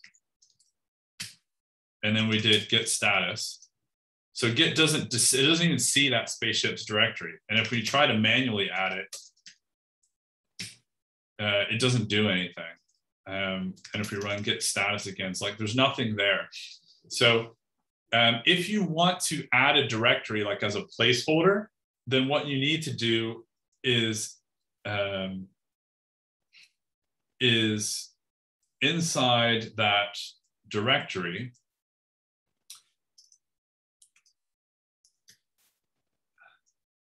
you can just create a little empty file called git keep. And this is like a little a special file that's used to create placeholder empty directories in Git. So if you do that,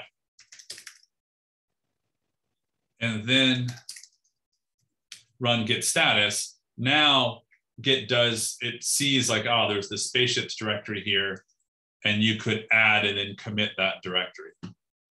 Um, so an example of, of where this comes up is actually in the introduction to uh, data science workshop, I created a whole bunch of directories in here, and many of these directories have are just empty. They're like placeholders for future training or materials that will we created. Um, so, for example, if you look in the introduction to Git, there's just this Git keep file, which is just a placeholder, and just allows me to create this repo that has this empty directory that I wanted to have already pre pre pre created, basically. Same for the introduction to Conda course. Um, and there are some other placeholder directories in there as well. Okay, um, I think I will just remove dir the spaceships directory. Oh, ah, so you can't remove, if you remember back from the shell course, you can't remove a directory that's not empty. So what I need to do is remove the spaceships directory recursively. Okay. Um, looks like we've got some questions in chat. Um, qu the question is, do you always have to run the git add command uh, prior to git commit? So yes, although I believe up here there is a discussion of um, hmm, I thought it's uh, uh, okay, so it's mentioned in the, okay. So you can do the git commit, um, git add and then git commit in one command by doing git commit and then passing the dash a option. So let's look at the help menu for git commit. Okay. So that's git commit dash H will give you this help menu. And if you look in here, here, so there's this dash A or dash dash all option, which will commit all changed files. And that has the um, um, effect of running the git add on all the changed files and then committing them at one time. So that's like a handy shortcut if you've made if you've made a bunch of changes to files and you just want, and they're all changes that you're going to add and commit together in a single commit, you can just do git commit with a dash A, and that will do it all in one command. Okay, I think there was another question that I, um, so git, git restore takes change modifications in your current working directory and removes them there's a separate command for taking changes. So let's um, let's go back to our diagram here. So what git restore does is it removes this green line. So if I ran git restore on this file, it would just remove that green line. That's it. If I had already added this change to the staging area, there's another command that would remove these changes from the staging area and then remove them from the, the document in the working directory.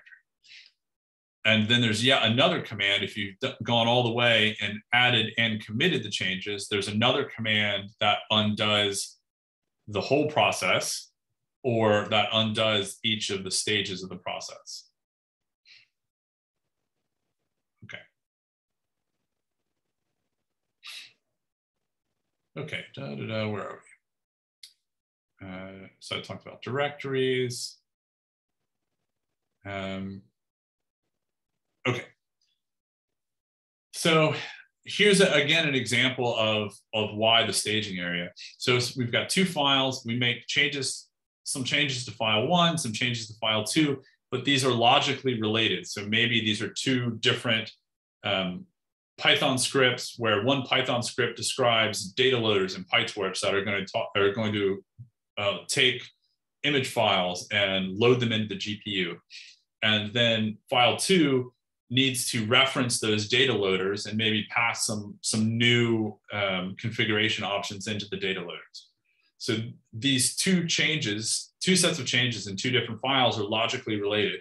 So we add both files individually, and then we commit both sets of change or um, both sets of changes together as one commit. So we take, we put them both in the staging area with two separate git add commands. And then we run git commit to take the staging area changes and drop them on top of the repository to update the repository. Alternatively, as I just pointed out, you could also do git commit with a dash dash all or dash a option, and that would have added both of these to the staging area and committed them in one command.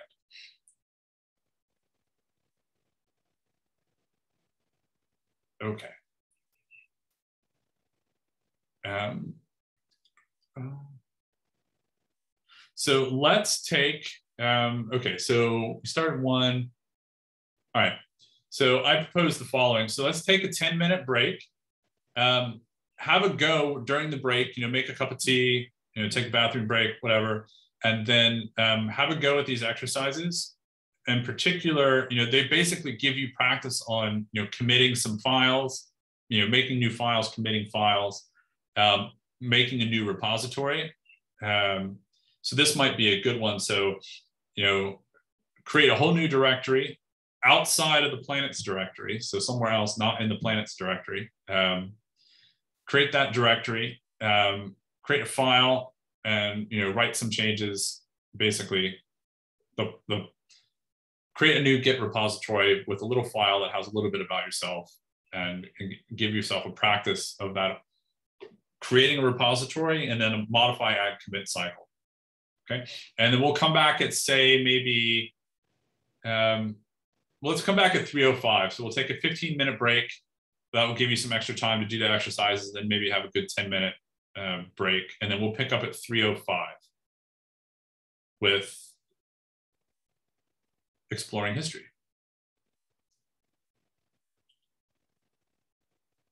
Okay, so I'm going to go ahead and pause the recording now. Okay, so we're back to we're back from break. Any questions uh, about the material that we've covered before I, I pick up with um, with the next episode?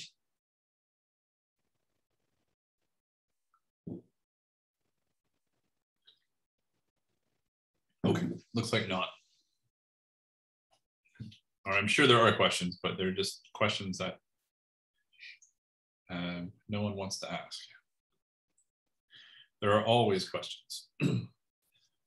okay, so now we are going to pick up with the next episode, which is on exploring history. And uh, in this episode, we're going to talk about how to identify old versions of files, how to review changes, and importantly, how to recover old versions of files. So I think someone uh, in the chat asked a question about this earlier. How do I recover old versions of files? And we're going to talk about that in this episode. Um, and so in the course of this episode, we're going to cover the Git head, um, oh, they're head of a repository. What is it and how, how you use it? Um, we're going to use our Git commit numbers. So I mentioned these, each commit gets its own unique hash number, we're going to actually use those numbers to do stuff.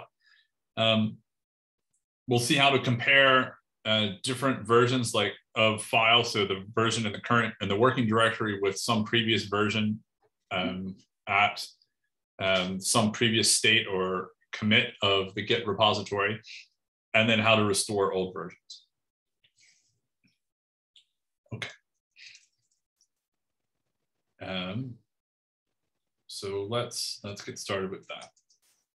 So I'm just going to clear clear this out. Okay. And let's take a look at our Mars file. Okay, so we have um, we have these three lines, and now let's. I'm just going to open the file and add uh, an ill-considered change. So basically, this is a change that is a bad change, and we're probably going to want to delete it or remove it. But we have to make a bad change before I can show you how to correct it. So now I've saved that. I'll close the file. And so now let's talk about um, head. So you can refer to the most recent commit of the working directory by using that identifier head. And you may have, if you had eagle eyes, you may have spotted head when we ran the git log command earlier. So here's head, and it points to the most recent commit uh, in the repository. So, um, so far, we have been using um, git diff to just compare um, by default to compare the most uh, the working directory with the most recently um, committed version. But the git diff command actually has a different syntax where you can uh, explicitly say, I want to compare the difference between the a version at a particular uh, particular location or particular commit in the Git repository and the current version in the working directory. Okay. Um, and so here is the result of that diff. So we have this ill-considered change that we just added, and that's not anywhere in the Git repository. So it's just this one line. Right. Now, we can actually refer to previous, not just head, we can actually use head as a starting point and then go backwards. So if we wanted to compare the current version of the file mars.txt with the version of mars.txt not at this commit, but rather at this commit. We could do head tilde one. And so that, that tilde one means go one commit back from the head. And so now if you compare the version of the file at this commit, which is one behind the head commit. The difference between mars.txt at that commit and the current version of mars.txt is these last two lines that were added in the current working version. Similarly, if you do head tilde two, you'll get these three lines. So head tilde two would be head, head tilde one, head tilde two.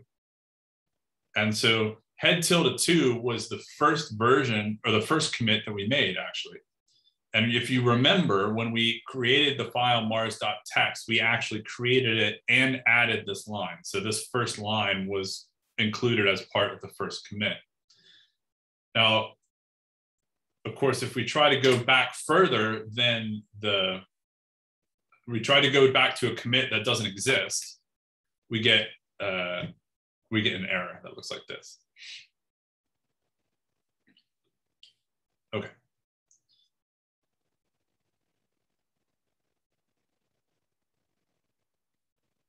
Um, now, here we were using uh, this git diff, I mean, we were using the git diff command to compare um, different versions and we were getting the differences. Um, so what we could do is we could use a, another command, git show. I don't use this. I use git diff a lot. I don't use git show that much. Um, which will show us a little bit more information than just the, the differences. So if we do a git show, oops, oops uh, I have to put in an actual correct, let's do tilde one. Um, we get the actual commit for head tilde one, as well as who did it, when did they do it, the commit message, plus all of the information about the actual diff. So you might do, in, in practice, how would you use these commands? Well, in practice, you might do something like, um, what was the difference between these two files? And then you might, might say, ah, you know, who is responsible for the, the you know, this, who is responsible for the file, who, who made the commit that's associated with head tilde two? And then you could say,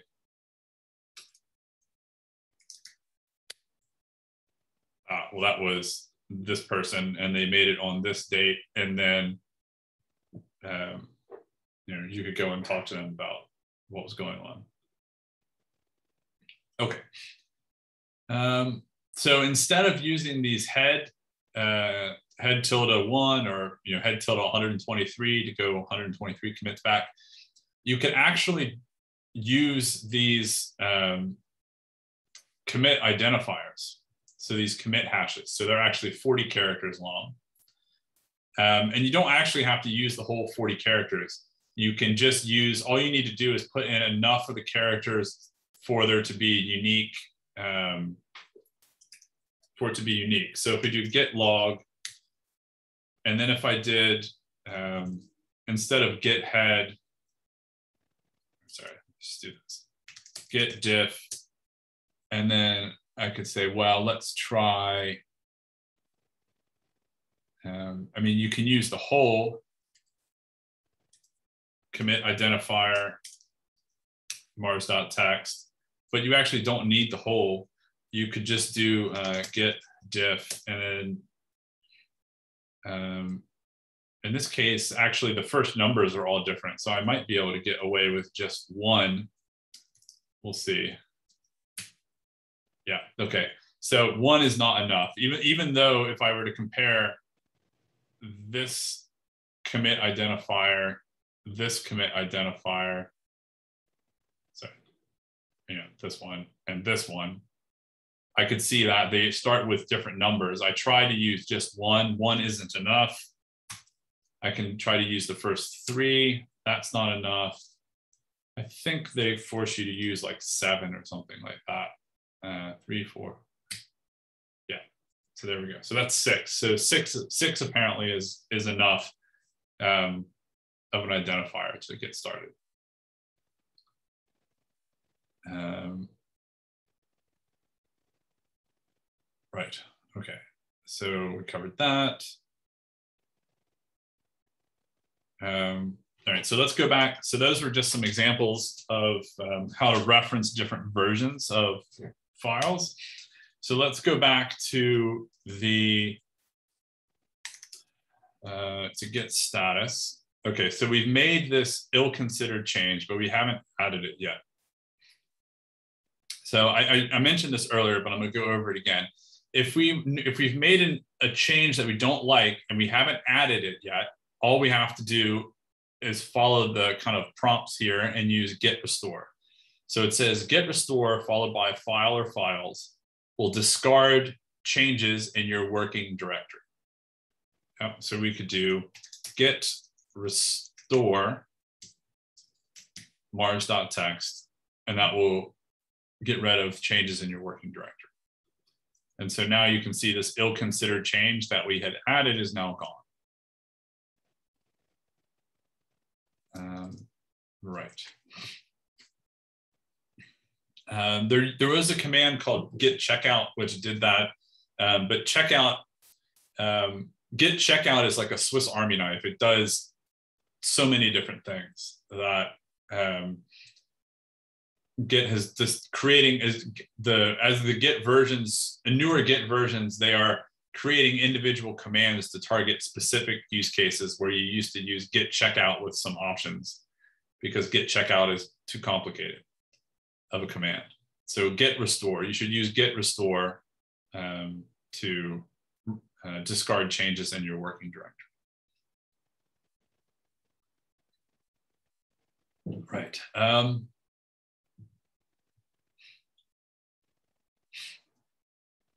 Um, also, if you're using this git checkout command, you can get into a, what's called a detached head state.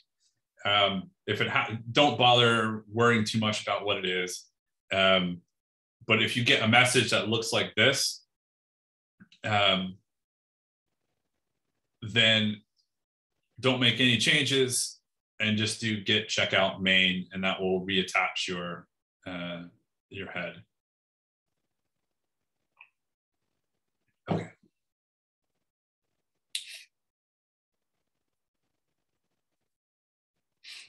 Okay. Um, so if you want to undo, or if you want to revert the Git um, the Git repository back to some previous state, like you want to you want to rewind and undo one commit or several commits, you have to um, you have to go back to the commit before the change that you want to undo. So if you only go back to the change that you want to undo, then that's going to rewind your your git repo to the to the commit that you actually want to undo. So you have to go like one behind that in order to undo that commit. So I'll see, we'll see an example of that uh, in a minute. Um,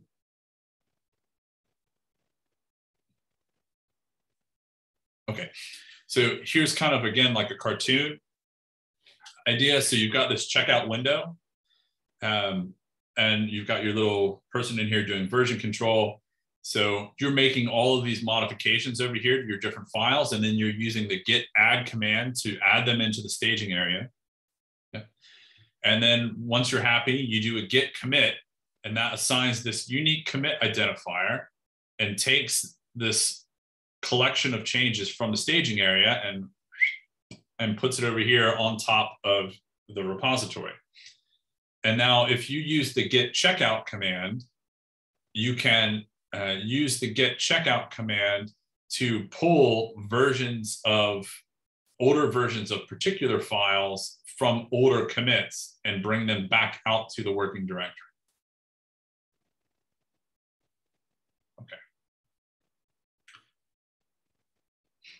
So um, let's see an example of, I didn't actually do an example of that. So let's, let's do that. So um,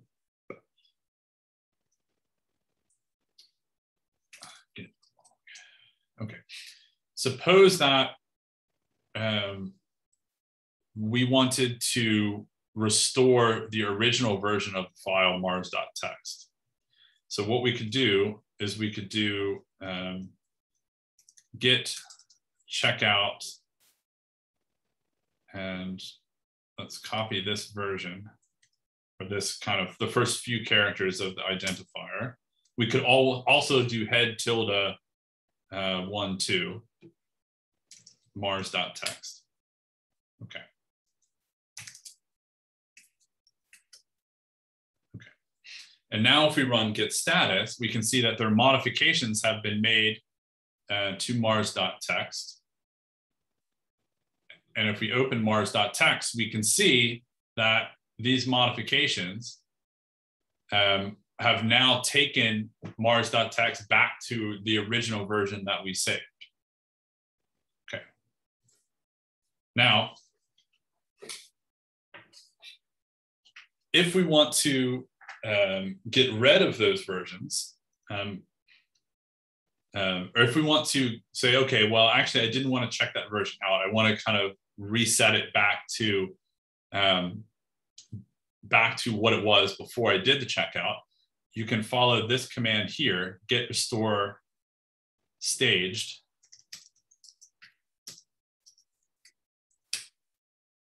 And then I need to add the, the name of the file. And now if I do git status, we have this mars.txt. And then, so that has, that has removed um, the modifications from the staging area. And now we need to do a git restore mars.txt. And now we're back to the mars.txt that we um, that we had before we did the checkout.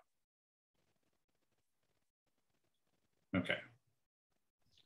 Uh, question, David. Yes. So we just saw how to restore a specific file back to a previous uh, committed yes. state. Let's say uh, I want to stay at that state, use that file, and make some other changes. You know, uh, do I have to go back and say git add that specific file, then commit it to work from there? Okay, so what we what we saw. So let let's suppose. Um, okay. Um, so so let's go back up here. So here we did this checkout, right? So we pulled an old version of this file and we looked at the git status. So from the status, we can see that when we did the checkout, Git said it right. Okay, we're taking this old version of the file, but the the the modifications that that file represents are already kind of added.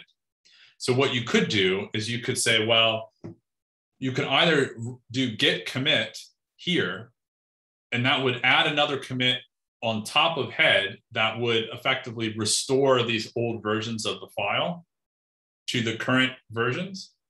And then you could go on from there and do modify, add commit, and make more commits from there. Or you could go ahead and make additional changes to mars.txt at this point and then commit those changes um, together with the checkout.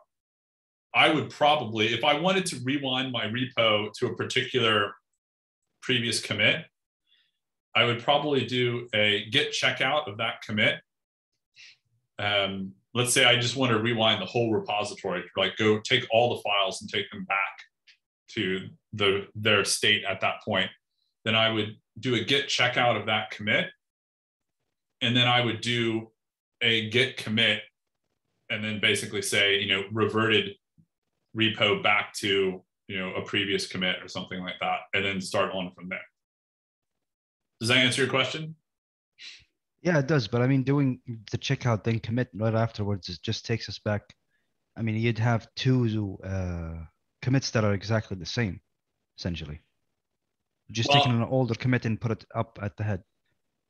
Right. I mean, so it depends on right. So if you did that, so let's say I, you know, I checked out this one here, and then did and then immediately committed it so that would basically be like the the if you think of it as like the documenting the whole flow of the the history of my project what that would be saying is that you know these changes and these changes that i saved in these two commits turn out to be rubbish for whatever reason and then the fact that I checked out this version and then committed it immediately is basically saying that I'm undoing these two previous commits. So it's not it, it's not that the same commit appears twice. It's that it appears the first time, and then when you commit, uh, when you do the checkout and then you commit again, that's creating a brand new commit that effectively undoes um, some other work or undoes uh, some other commits. Right, I understand. Uh, I guess for the flow of change, it might be easier the way you're saying it to track it, just to show that we've committed an older state and this is where we're starting from. So yeah. I, I get I get what you're saying. Thank you. Yeah. Okay. So one of the things that we're so now like these type of questions are are getting a little bit into like um like subjective areas on like what kind of workflow is optimal for like you or for your for your team. So many or most like software development teams like whether they're here at KAUST or you know in some business um, commercial business here in Saudi Arabia or, or anywhere that uses anywhere that uses version control they will have a specific workflow that they have adopted on how to how to how to do these things. So they will have like when you want to revert a commit, then you do the following stages, the following sequence of git commands. Because as long as everybody is kind of using the same um, the the same mechanism for you know reverting changes or documenting it, then you you get more consistent documentation for how the changes were made and usually you don't want to lose when you're using version control like this you you want to have all these intermediate um, stages where maybe you made a bunch of commits and then, then you these commits turned out to be bad. By checking out and then adding a new commit it, it allows you the opportunity to document why those changes were bad. If you just kind of like you know there's other git commands that you can use to just like erase past history or erase previous commits. I'm not going to cover them today, but you can look them up in the Git documentation. That's almost like um, that's generally not desirable because by erasing commits, you're losing that opportunity to document for the future, like why those commits were bad. It would be like you know, it, again, if you think about version control as being your digital lab notebook, you know, you probably would not take, you know, it wouldn't be good science to take um, your lab notes from a failed experiment and you know throw them in the trash and burn them and then keep doing that until you got a correct experiment and then only keep your lab notes from that correct experiment. You would lose so much knowledge of different things that you tried and and and different ways in which the experiment went wrong if you like chucked out those those notes on the failed experiments. So that, that's another way to think of it. So there's a question um, we'll be talking about different scientific workflows that we can incorporate git into. Um, so i will provide that's not a topic that we'll have time to discuss today. I can provide some links. Uh, I'll probably put them in the the YouTube video description um, because I'll I'll pull them up um, and, and add them there. Um, that will provide links to um, either books or other resources on um, different workflows for Git and scientific uh, applications. But that's kind of like a more advanced topic. So we have to teach the basics on how to use Git and then um, we haven't had enough user interest yet to justify creating an advanced Git training where we would talk about some of these scientific workflows. Um, but it, that would be a good thing to note in your feedback form. So you'll get a link to a feedback form tomorrow with the link to the YouTube video when I post it. So if you have that kind of feedback or request for that kind of training, um, is a great thing to add to those feedback forms. Um, because if we do get enough requests for a certain kind of training, we'll try to make it happen.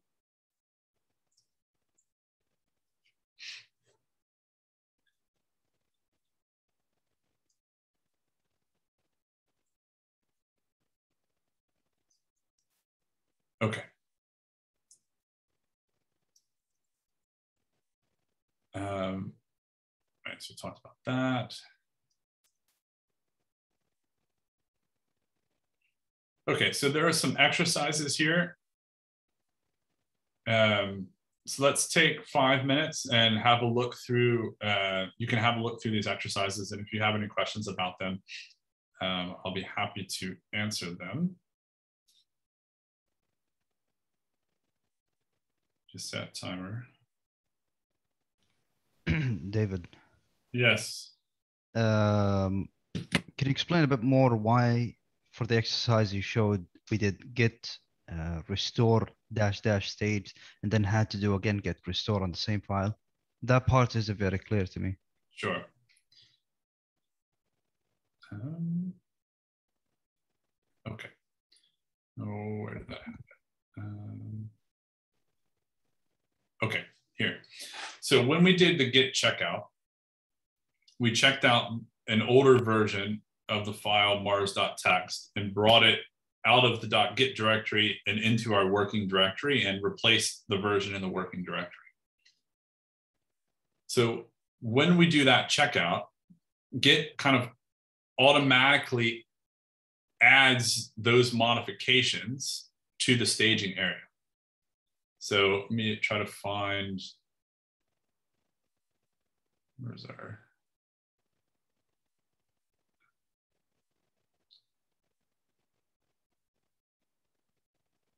okay. So we did the git checkout of this old version of mars.txt. And then what happened is that when we did that checkout, um, it moved the old version to the working directory and then kind of added it to the staging area. So it overwrote the version in the working directory, but then automatically staged the changes. So when we run the git restore staged command, that takes these changes that were automatically placed in the staging area and unstages them. Then when we run the, uh, and we can see that here. So we ran uh, the git restore with the staged option, and then we ran git status. And then we could see that the modifications were still there, but now they're in the working directory and we can run the git restore command to get rid of those. And then we run the git restore command, and then that erased the, the changes and took us back to where we started. So it's kind of, it's, it's back to this like um, the, the staging area. Um, when you do the checkout, things end up in the staging area and you need to get them out of the staging area before you can erase the modifications. So it's like this two-stage process.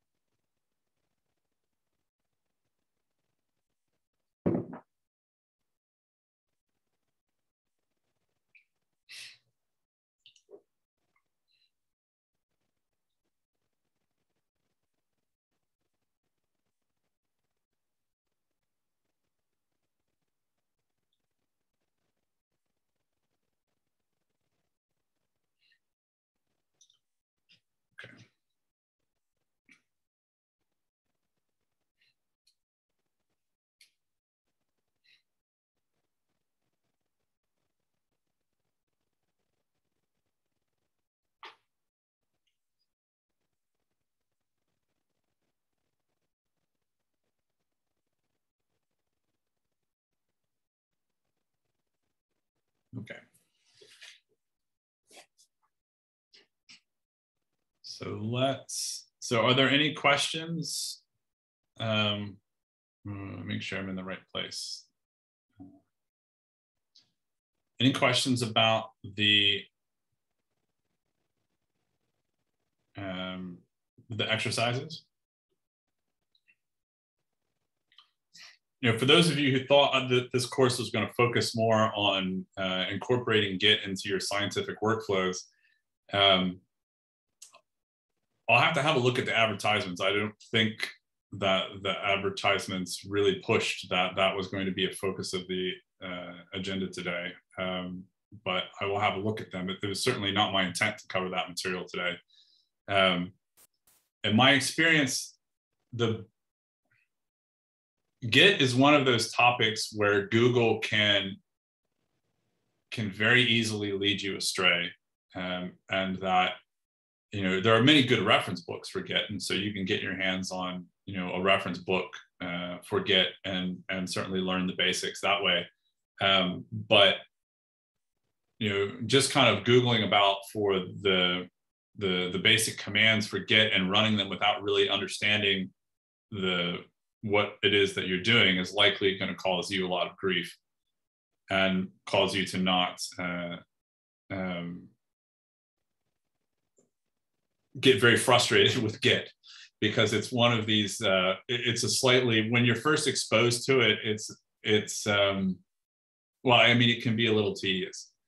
Um, you know, it has a steeper learning curve than say Python or um, or maybe even Shell, and so um, I have found these workshops to be very useful in helping um, get users over that initial energy barrier, for that get up and get them up that learning curve to the point where they can run off and use Google, but use Google effectively and not let them lead astray.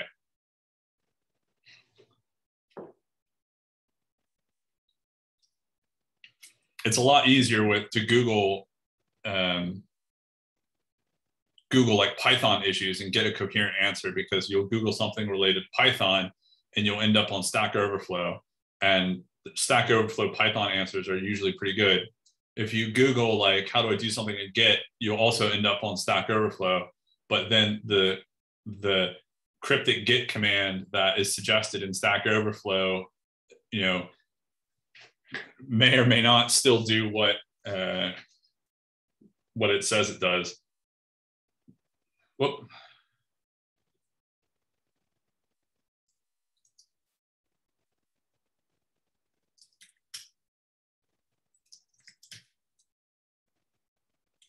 Okay. I thought I lost my uh, my compute instance for a minute. I was talking too much. Um, let me share my screen again. And we'll move right along. Ignoring things.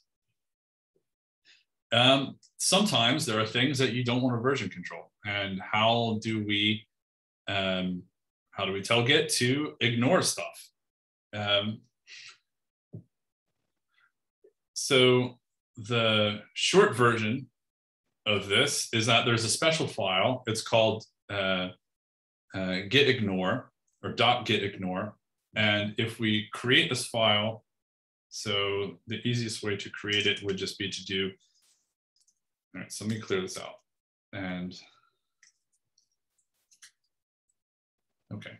So in our project directory, we will create a, um, a file called dot git ignore.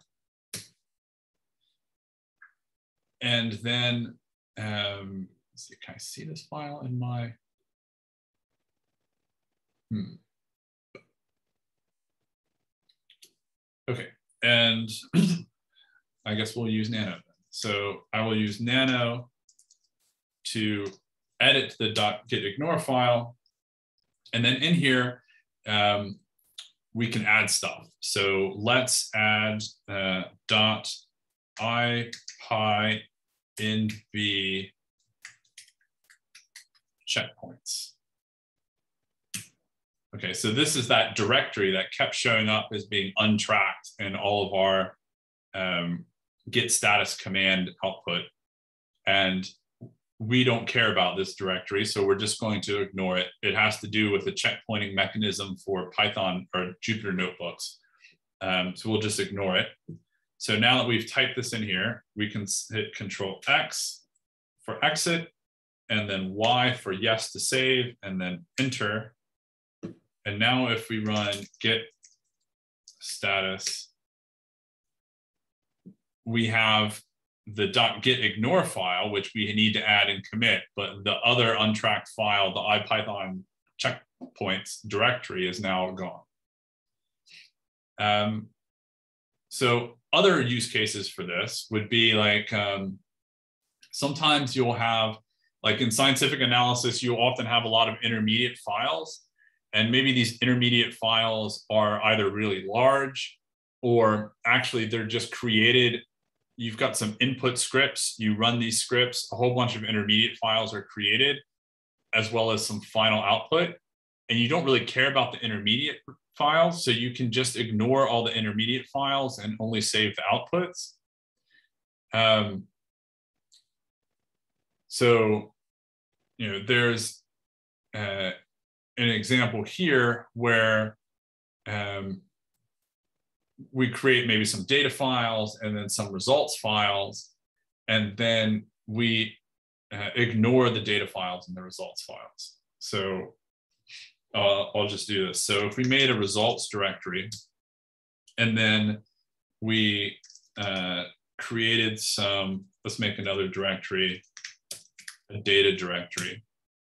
And then um, in the data directory, we'll create uh, a dot dat data b dot dat data c dot dat and then um, in the results directory we'll create a dot out b dot out and c dot out now if we do git status so we still have our git ignore file, which we haven't added yet, but now we've got these two directories, data and results. So, you know, what we could do is we could open the, the git, dot, git ignore file, and then we can add some more directories. So we could add our data directory and our results directory. Um, if we had, we can do things like um, pattern matching. So um, um, so here in the example in the notes, they did it slightly differently. So they created these data files in the project directory, and then they just had this results directory. So you can use pattern matching. So you could ignore files with a particular extension with this kind of a pattern. Um, anyway, so once you once you add the things that you want to ignore to the git ignore file, you do control, uh, control X, yes, and Y, Y to say yes, and then enter for git ignore, and then uh, git status again. And so um, now, now we will do git add dot git ignore, git commit and then um, you know want to ignore certain files and dirs. And now if we do the git log, we can see that you know we've got this commit in here that we just added. Um, another common directory that I ignore is that uh, if you remember from the, the Conda training a couple weeks ago, um, I like to create my Conda environments in a directory called env inside my project directory. So that directory is, I typically make sure that I ignore that directory. Um, I always version control my Conda environment files or my configuration files, but I never version control the environment itself. I always ignore it. Um, th there's some uh, um, there's some other material in here um, on different more advanced features of the git ignore file. Um, but um, just a second. Um, but I don't think I'm going to go through it too much, to be honest. So I like what I've showed you here is basically how I I use it. Ignore directories, um, ignore particular files. Um, there's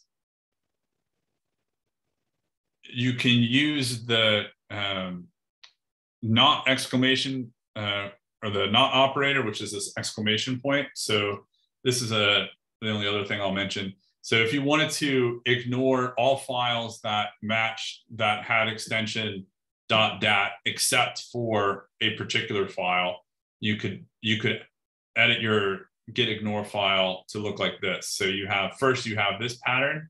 So ignore everything that matches dot .dat, but not final dot .dat, basically. So there's all, all kinds of stuff that you can do um, in your dot .git ignore file. Um, in, I don't know, maybe 30 minutes when we get to the GitHub section, um, then when you create a new repository on GitHub, they have uh, git ignore file templates that you can use. So like if you're doing a Python project, you can just click to add a dot git ignore for a Python project and it will ignore all of the stuff that you would want to ignore for a Python project.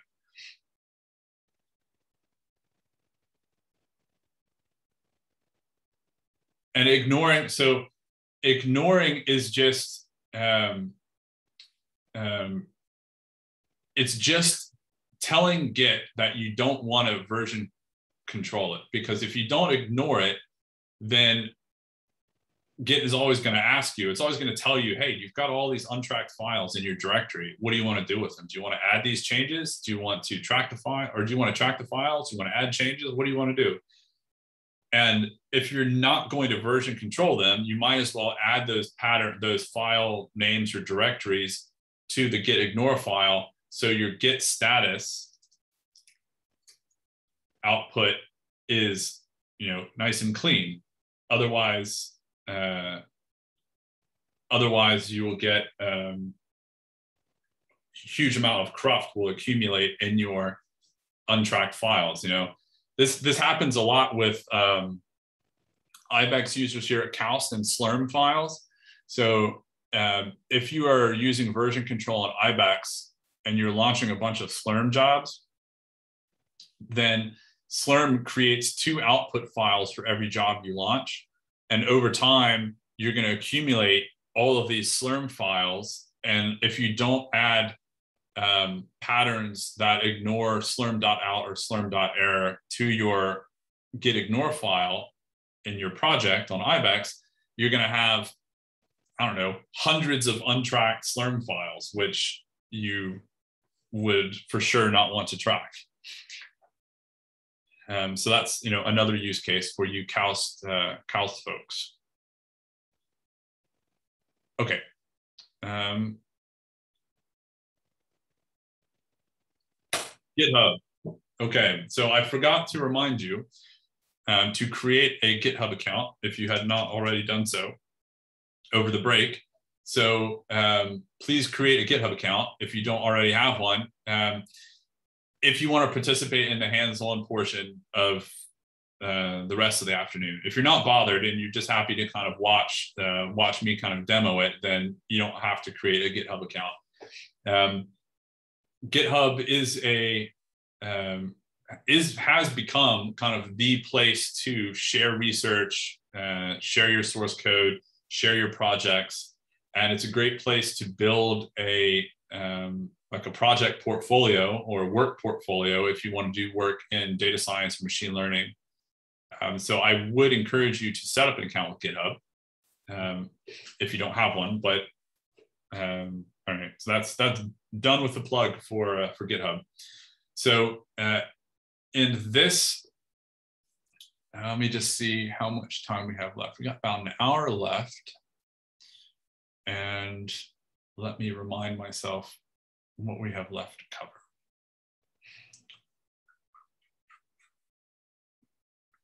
Okay, so we will try to push through with remotes in GitHub, uh, collaborating and conflicts, and then probably not have time to discuss the open science licensing, citation, and hosting. And I'll leave that for you guys to read, um, read on your own time. Let's go back to remotes. Okay, so there have already been some questions about how to share changes with others. And so that's what this episode is going to be about, how to share your changes with others. We're going to talk about remote repositories, what they are and why they're useful. And we're going to learn two new, very important commands, push and pull. And push is going to be used to push changes from our local repository to GitHub and pull is going to be used to pull down changes um, from GitHub to our local repository. And even though this is going to focus on GitHub, so there are other um, um, cloud hosting uh, repositories Um, Bitbucket and GitLab are two others. All the, the cloud, um, uh, you know, Amazon, Microsoft, and Google all have their own cloud uh, specific GitHub um, or Git implementations uh, so that you can have remote repositories inside of the cloud um, uh, the cloud service providers infrastructure and not dependent on GitHub directly. Um, also, if you want to use Git and you want to have, but you don't want to share your research work just quite yet, um, and you're here at KAUST, so KAUST IT, Research Computing IT maintains a um, an internal uh, GitLab hosting service works exactly the same. The Git works exactly the same, and you know there's some slightly different stuff between GitLab and GitHub, um, but the basic concepts are the same. Um, but if you're interested in that, you can talk to, uh, you can send a, uh, a, ticket to kind of IT help desk, and someone will reach out and contact you to talk to you about the IT's uh, GitLab uh, hosting service for KAUST users. They may also have some training um, online, or um, they usually offer training on on some of these topics as well uh, during the semester. Okay, so uh, the first thing that we're going to do is we're going to uh, create a repository on GitHub. So navigate yourself to GitHub and log in if you haven't already done so. And so this is my, uh, or this is the, the landing page for my um, IBEX training uh, GitHub account. And so I have a whole bunch of repositories over here. And many of these I've created in the process of making tutorials um, for uh, KAUST users for our YouTube channel.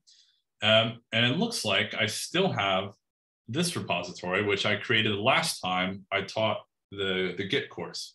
So I need to delete this first. So to delete a repository, you would go to settings, scroll all the way down to the bottom to someplace called the danger zone.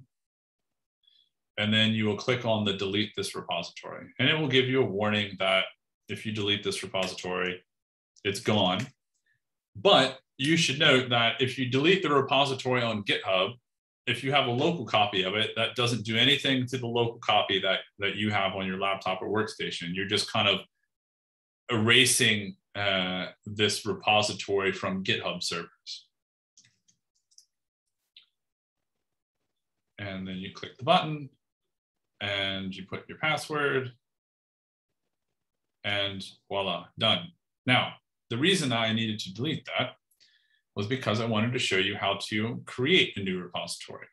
So up in the top right-hand corner, you'll see this little plus um, uh, drop-down menu. So if you click on that, you can say new repository and new repository. So there's something called template repositories. Um, I have some training videos on our YouTube channel that talk about how to use some template repositories that I've created. Here, we don't have a template repository. We're creating one from scratch.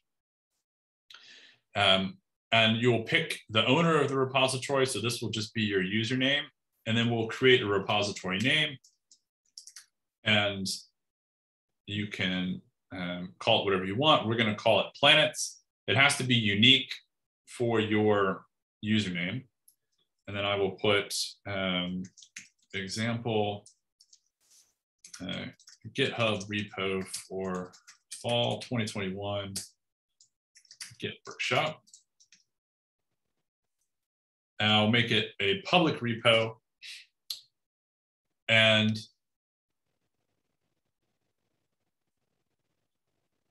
now we're not going, because what I'm showing you how to do is link an existing local repository with a repository on GitHub. We are not going to add any of these files we're going to create a completely empty repository that has nothing in it.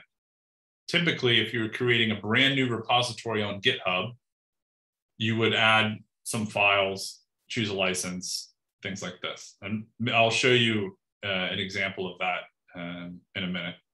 But let's just go ahead and just check public. Don't check any of these. And then just say create repository. Okay, now, once you've created the repository, so now Git has created a page or GitHub has created a repository underneath your user on their servers, and they give you some suggestions. Um, the first is how to create a new local repository from the command line and how to link it up with GitHub. So you'll recognize the git init command. We did that earlier. And they have this command to add a README and then commit it. So first commit, and then to another way to switch your branch to main. Um, and then this git remote add origin. We're going to talk about that in a minute. And then git push origin main. But we already have um, an existing repository. So what we need to do is this second set. So we need to first copy this first command.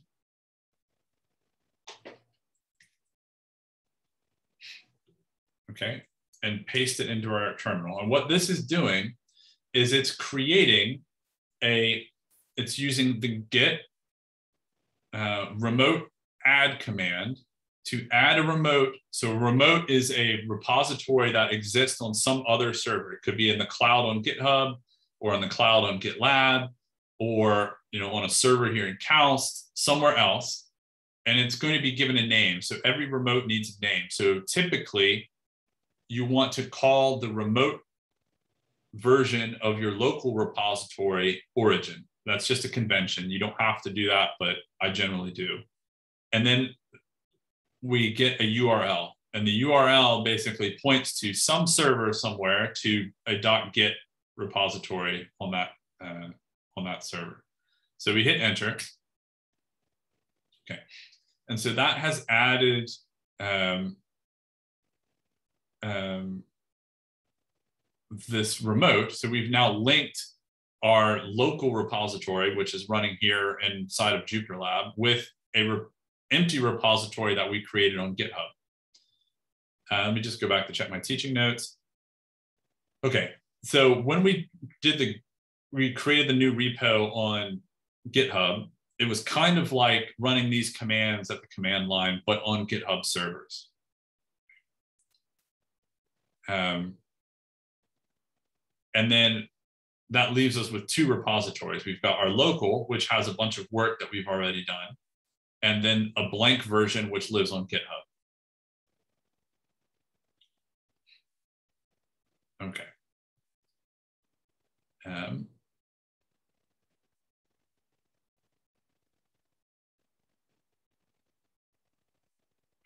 So now if we wanted to look at,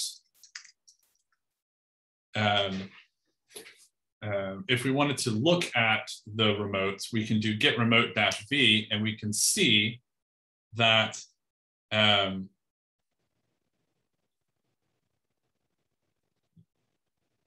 um, you can see that we have um, origin, and then we have the link that we just added.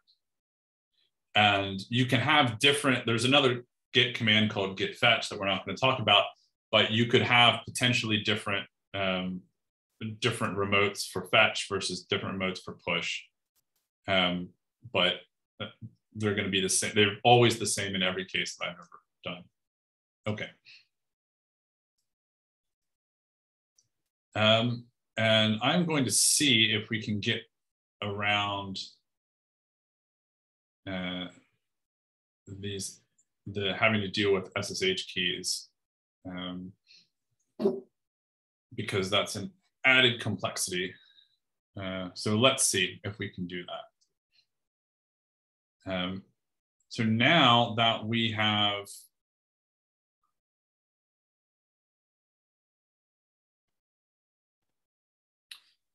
um, so now let's do git status. Now let's try to do uh, git push. So now we're going to use this git push command because we want to push our git the contents of our git repository from our local um, repo up to the cloud. Yeah, so we'll do git push, the name of the remote that we want to push to, um, and the name of the branch that we want to push, which is main.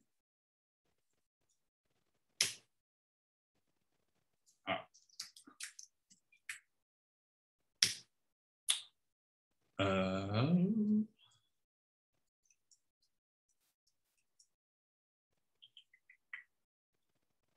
okay, and so here, this is where you would add your uh, password.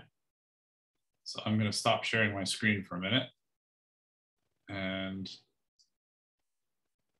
remind myself what the password is. That's why I save my passwords in my browser.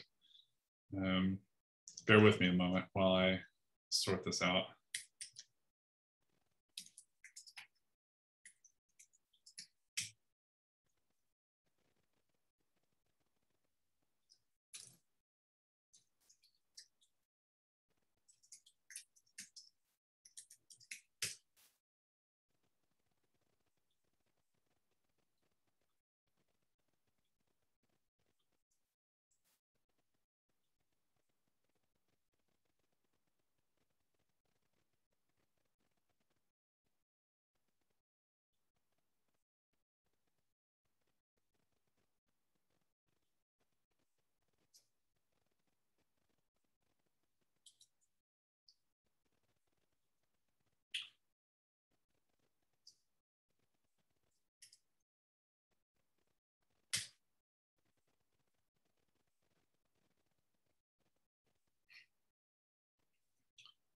Okay. Let me share my screen. Okay. So if you paste your password in um, and hit enter, you're going to get an error message like this. And the reason is that since the last time I taught this course, GitHub has removed support for password authentication. So they did this in August of this year. And so you have to use your personal access token. And so this personal access token is something that's called an SSH key. So I will, um, I'm going to walk you through the process of um, pushing again with SS. I already have an SSH key, like a personal access token set up. So I'm going to show you what it would look like to do it successfully and then we'll talk a little bit about um, how to set up SSH keys. Um, yeah, that's going to take a bit more time than I would I had intended.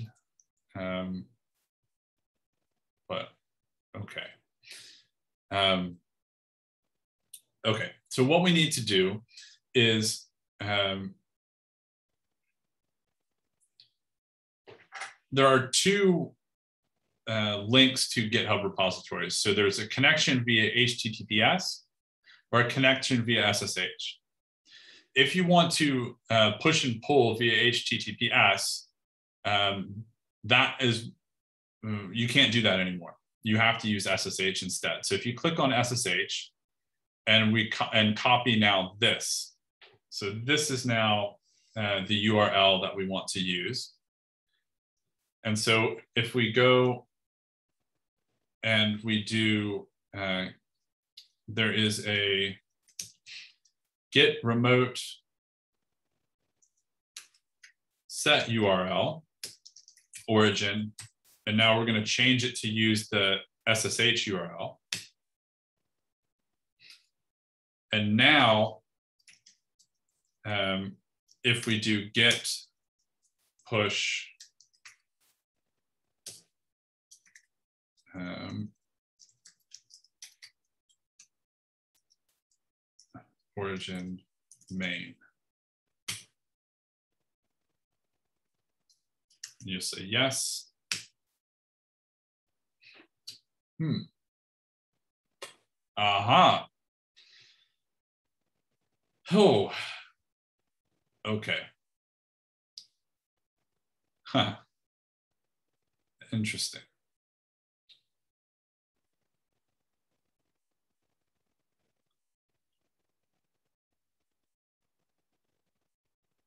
Okay. Now, so this didn't work. Now, the reason that this didn't work is because um, SSH keys have two components. They have a public key and, uh, and a private key. And the public key that you create, you add to your GitHub profile. And so I have a public key for my IBEX training user that I've added to my GitHub profile. Then you have a private key, which exists on your computer and that you never share with anybody. That private key, um, um, I have a private key for uh, the IBEX training user that lives on my computer, but I forgot that I'm not actually using my computer. I'm on a cloud instance um, that is running on the Binder Hub accounts. And so there is no um, there is no private key that will match the public key that I have included in GitHub. So that is actually um, going to take some thought.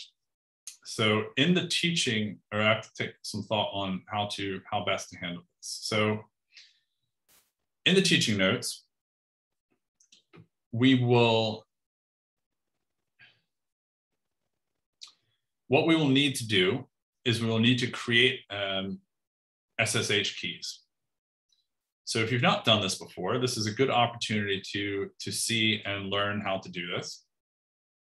And um, so let's just do it. This is a little bit, um, uh, this is a, a, little bit, SSH keys are, are, are critical thing to understand because if you want to log in remotely to any server, you need to understand SSH keys, whether you're logging into IBEX or whether you're logging into um, a remote server like um, AWS or on Google or Microsoft Azure or something, SSH keys come up again and again and again. So, you know, if you're logging into IBEX, then you might have a username and password that you can use. That's secure-ish, but not as secure as using SSH keys.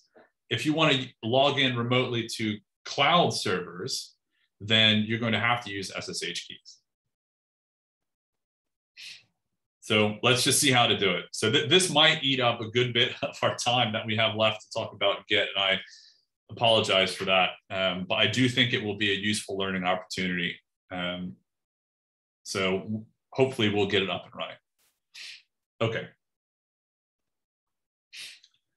So the as I, I, mentioned earlier, so SSH uh, stands for Secure Shell Protocol. It uses a key pair. So there's a public key and a private key. Um, and this relates to uh, cryptography. And it's really interesting and super clever mathematics about how you generate these public and private key pairs. Um, but though you can think of um, the public key as being this lock, and then the private key is the actual key. And the public key or the lock is what you post on remote servers, whether it's a cloud server or a GitHub server or something. And then the private key you never share. That always stays on your, your local computer, um, laptop or workstation or whatever. Um, right. So what we're going to do is on a Linux host, there is always in your home directory, there is always um, a folder, a special folder called .ssh. And inside that folder is typically where you would have any SSH keys um, or, um, or things like that, if they existed. But when you look at the contents of of this folder. If it's empty, then nothing exists. You've not generated any, any keys. So um, the key pairs, if they were listed, would look something like this. There would be, they would have like a, a name file name and the same file name dot .pub. And the dot .pub is what indicates the public key. The private keys always have, uh, are always just the file name itself. Okay, so let's generate some, um, let's generate some public private uh, key pairs. So there should be, I hope, yeah. So, uh, sorry, let me just clear this out. There is a program called SSH Keygen, Keygen, which, as you might imagine from the name, generates SSH keys. Um, oh.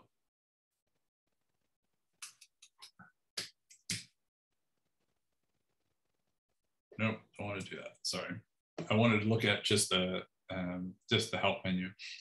So what you can do with SSH key is they have all these different options in here.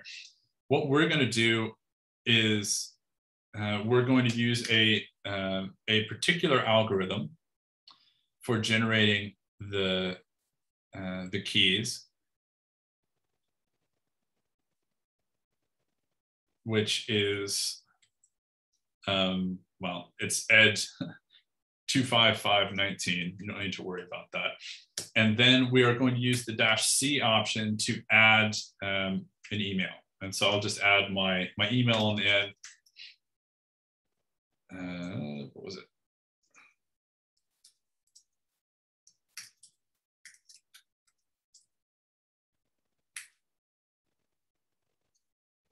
And hit enter.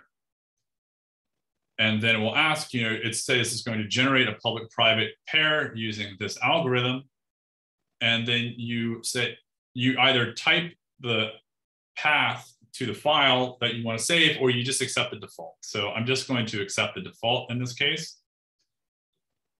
Um, so I will hit, um, actually, I'm not going to accept the default. And the reason that I'm not going to accept the default is that in practice, you will want to create, you, will, you don't want to use the same SSH key pairs for different things. So if you're creating one for GitHub, you should explicitly create a new one for GitHub and differentiate it from, say, a public private key pair that you would use for some other instance or some other application like logging into IBEX or something like that.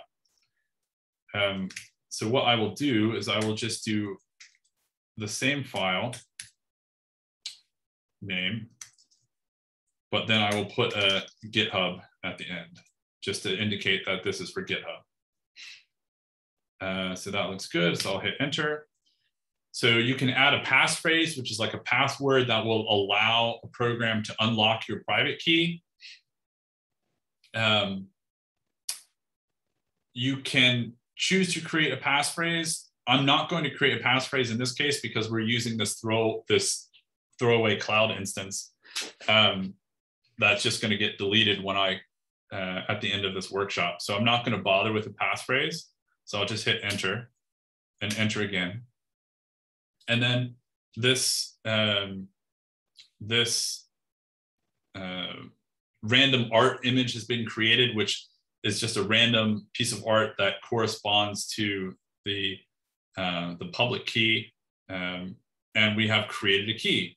And now if we look inside the special.ssh folder, uh, we can see here is our public private key pair that we just created for GitHub.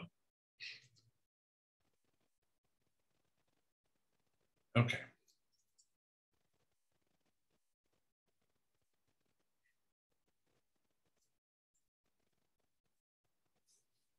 Now, there's a command here uh, with SSH or SSH that you can use to check whether um, you can authenticate from your the computer that you're running on with the GitHub server. And so we can try git at github.com and you'll get permission denied. And that's because we've not added the public key to GitHub server. Okay. So how do we add the how do we add the public key? Well, what we need to do is we need to display the public key first. And displaying the public key is okay. The public key is, is things we're going to share with other servers. So it's okay if you guys see my public key. The private key, we don't want to look at the private key. Um, so in the .ssh directory, now we can look at, so this would be my private key. I don't want to show you my private key because then I'd have to regenerate the key pair again. But if I, if I look at the public key, it looks like this. This is the public key here. And I can just copy that. So I can just highlight it and copy it. Um, and now I need to add it on GitHub. So I go back up to GitHub and on your GitHub profile, there should be a settings option. So you click on settings. And then over here somewhere, there should be an SSH and GPG keys. And you can add a new SSH key. And I will call this uh, example public key. Um, and then I will paste the public key in there. And then I will click add SSH key. Okay, so now I have some other public keys, and then I've got this example public key, which I just added. All right, let's try this again. So now that I've added that public key, if I go back and try to authenticate again, hmm, I'm still getting uh, permission denied. Why is that?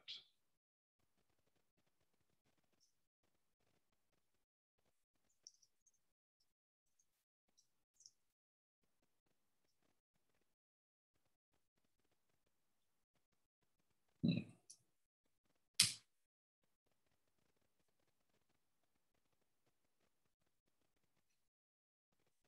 Hmm, this is strange. Let me just try to push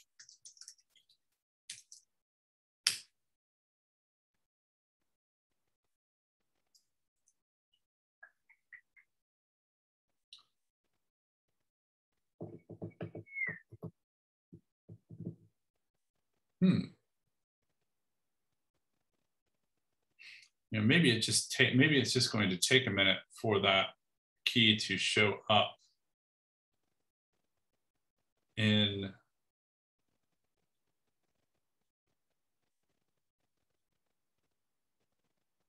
let's go back here.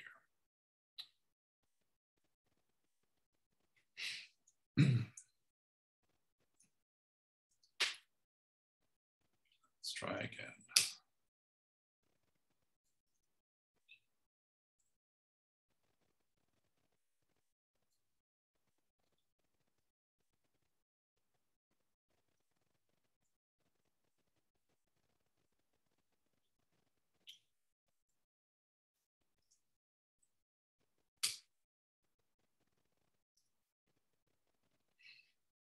Hmm, I'm not quite sure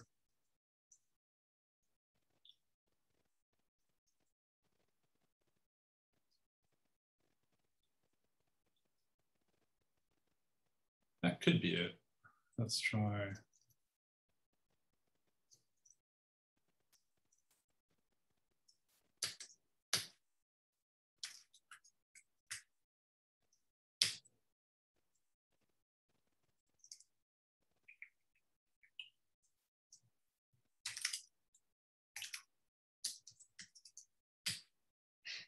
See what my git config looks like.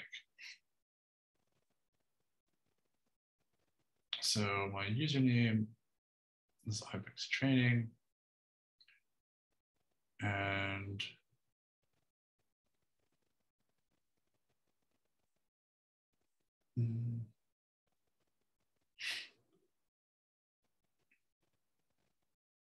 Hmm.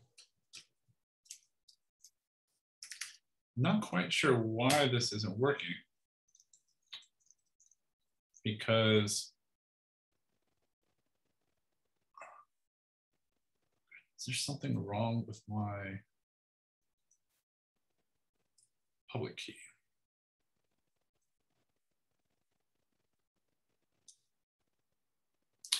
Oh, I I think I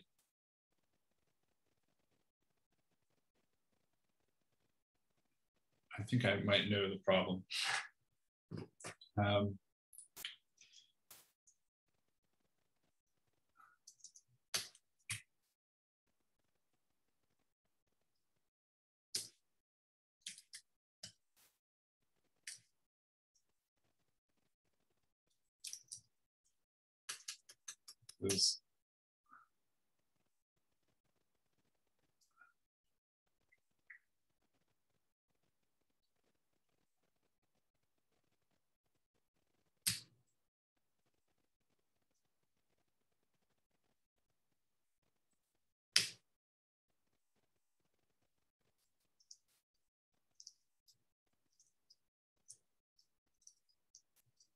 Hmm.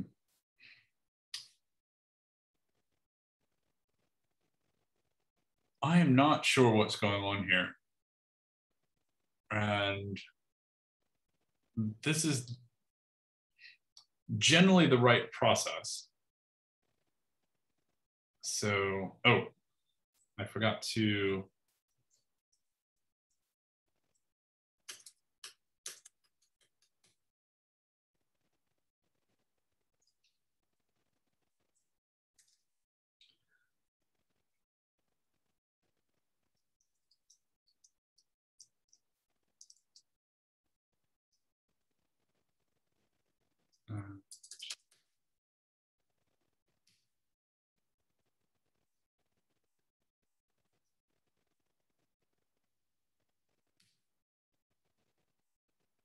There we go. Okay. So what happened? So the reason that this did the okay. So if you had accepted the default names for which is what the I should have followed the instructions here because it would have been a, although maybe this is a good teaching moment um, for how to recover from a screw up like this. But here, the if I had accepted the default, uh, where is it here? The default um, file names, then um, GitHub and or then SSH will will pick up the correct public private key and be able to make the connection. If I wanted to use a non-default file name, I need there was another step with SSH that I needed to do, another option in the SSH command that I needed to pass in order to specify which key file I wanted to use. And that would have been yet another step. And I forgot that I was going to have to do that. So I should never have gone down that road. Anyway, so it looks like we have connected successfully. So now I should be able to do git push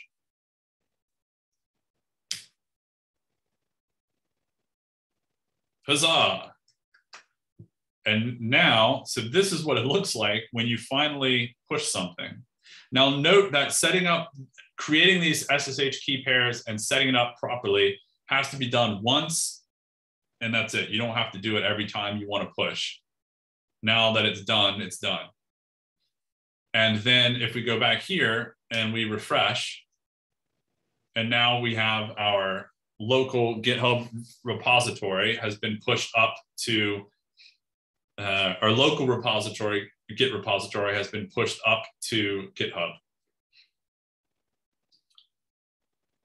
And so there, there's questions of, you know, can I use this method to make an key inside of the terminal on AWS? So um, yes, so this is the, the general blueprint for um, creating SSH key pairs.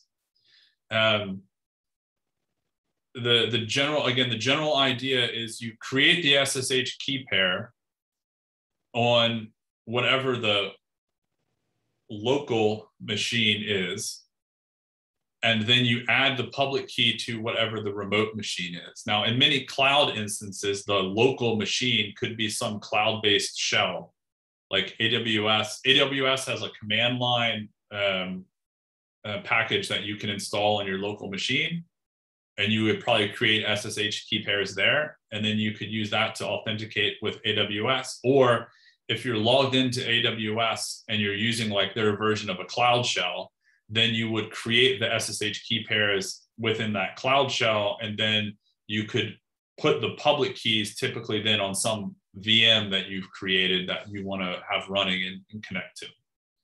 But that's like, you know, well beyond the scope of the Git course. But yes, the general principle is the same, uh, Sahar.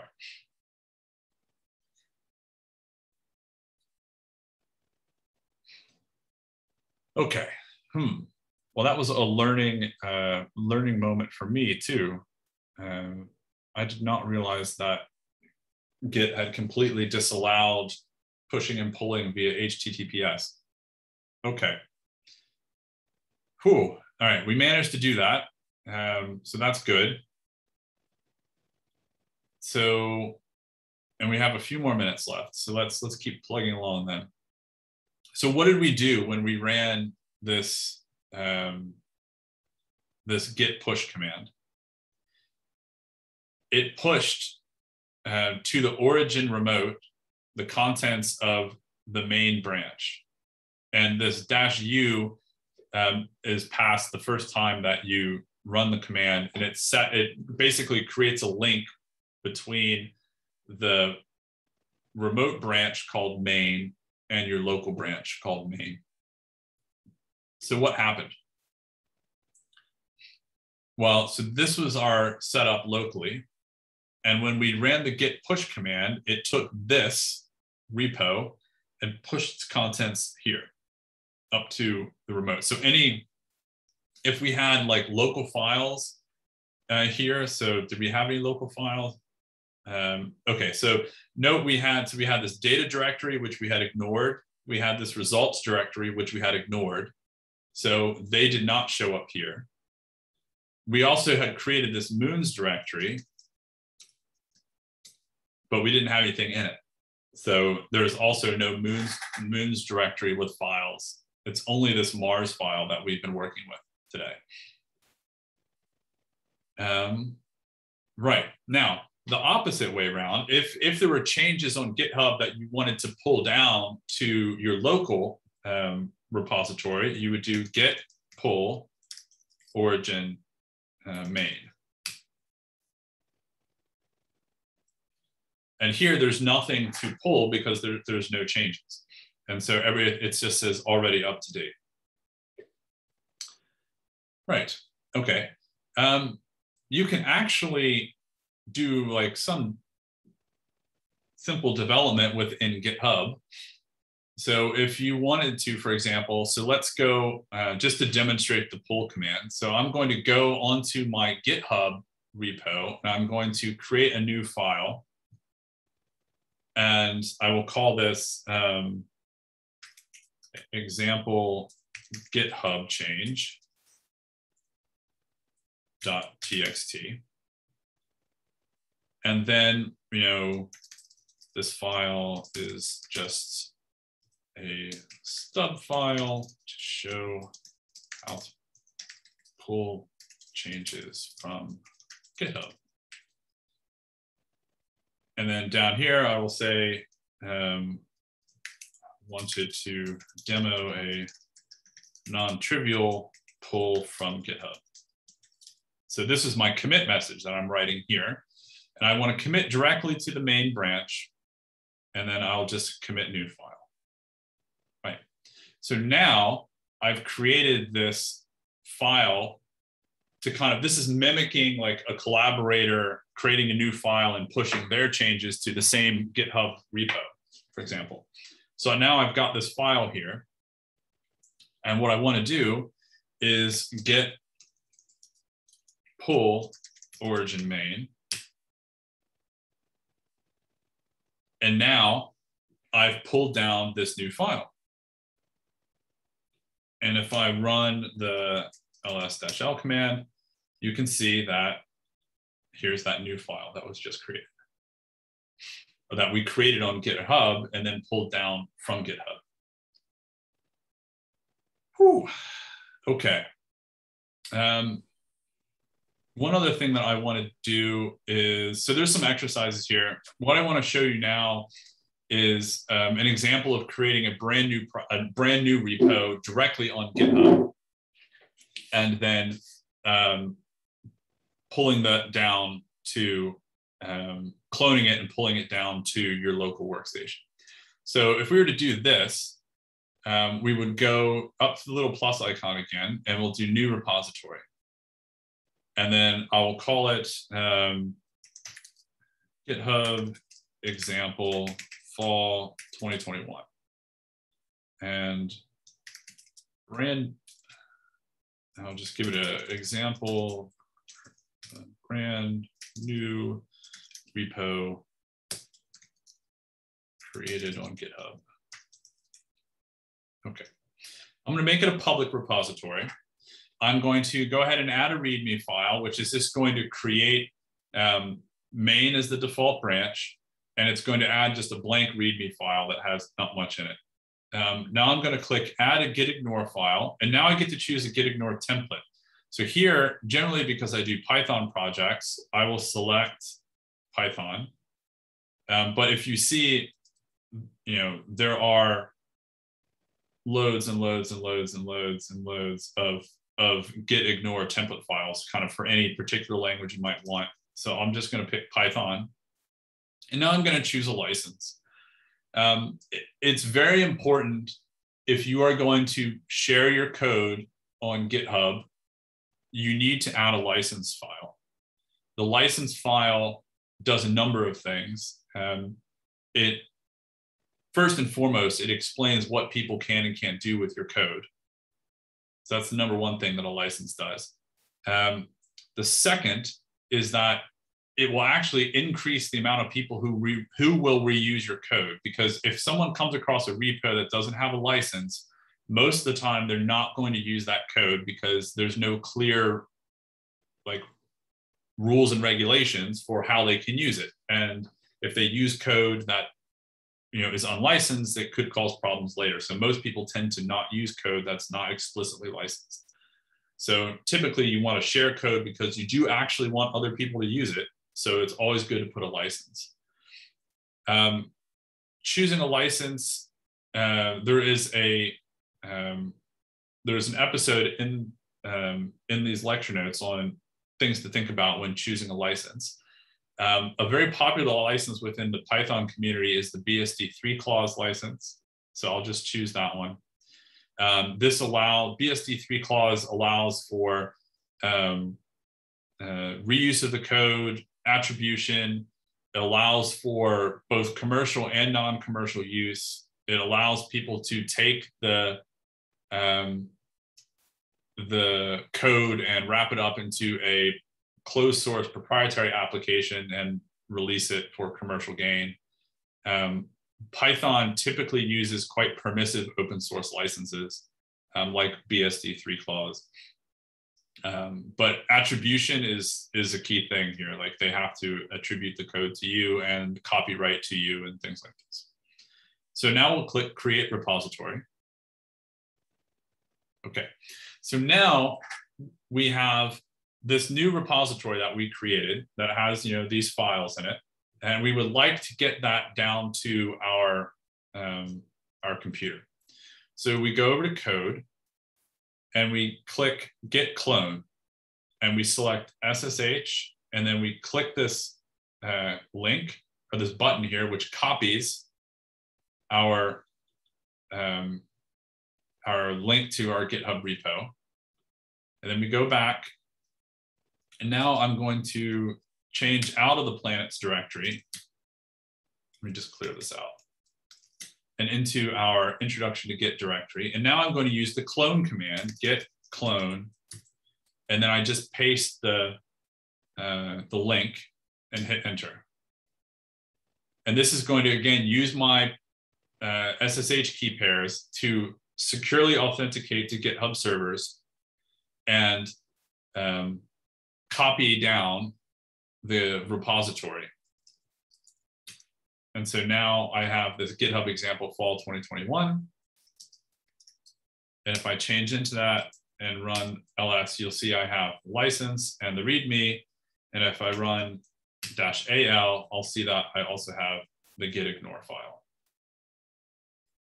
Okay, so that's an example of how you would create a, um, a brand new project on GitHub um, and then bring it down. So if you want to clone a repository that isn't yours, so that's a good example. So, so let's do that. Um, so cloning a repository that isn't mine. Uh, GitHub.com, uh, PyTorch. Let's see what comes up.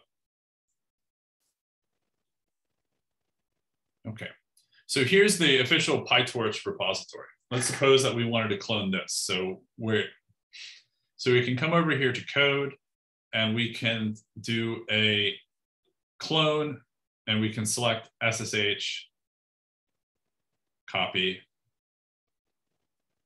And then we'll go back and we'll do, I'm gonna change back into the introduction to Git, and then we'll just do git clone.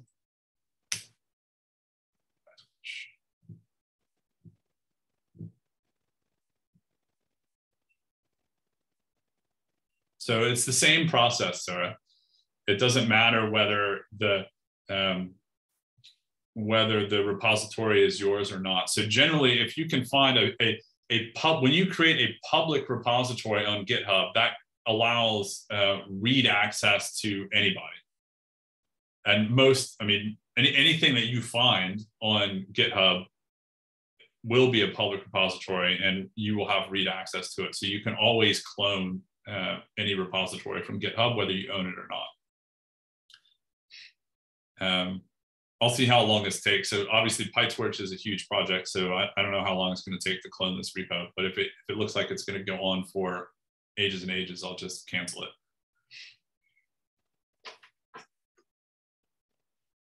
Okay, um, let me stop sharing for a minute and see what else we can we can cover.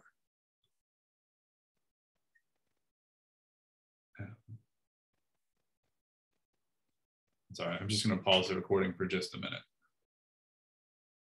All right, and we're back. Okay. Um, let me share my screen again. So we have only about 15 minutes left. So I I hope you found that diversion into SSH key pair key public private key pairs um, interesting and instruct and useful. Um, unfortunately, it means that we're not going to be able to cover the rest of this the section on GitHub. Um, I'll have to make some substantial changes in future versions of this course so I can get through that SSH section uh, much more quickly, um, or perhaps cover SSH key generation in the bash training um, so that we don't have to spend time here covering it, um, something like that. But th this uh, episode on collaborating um, kind of walks you through the process of, of how you might collaborate with um, with people via GitHub. And um, the basic idea is that uh, you can you know add collaborators to a shared GitHub repository um, and have have everybody push and pull from the same repository. Um, or um, you can have your version of the repository on GitHub, and you can ask um, other people to what's called fork the repository. Forking a repository. So here's an example.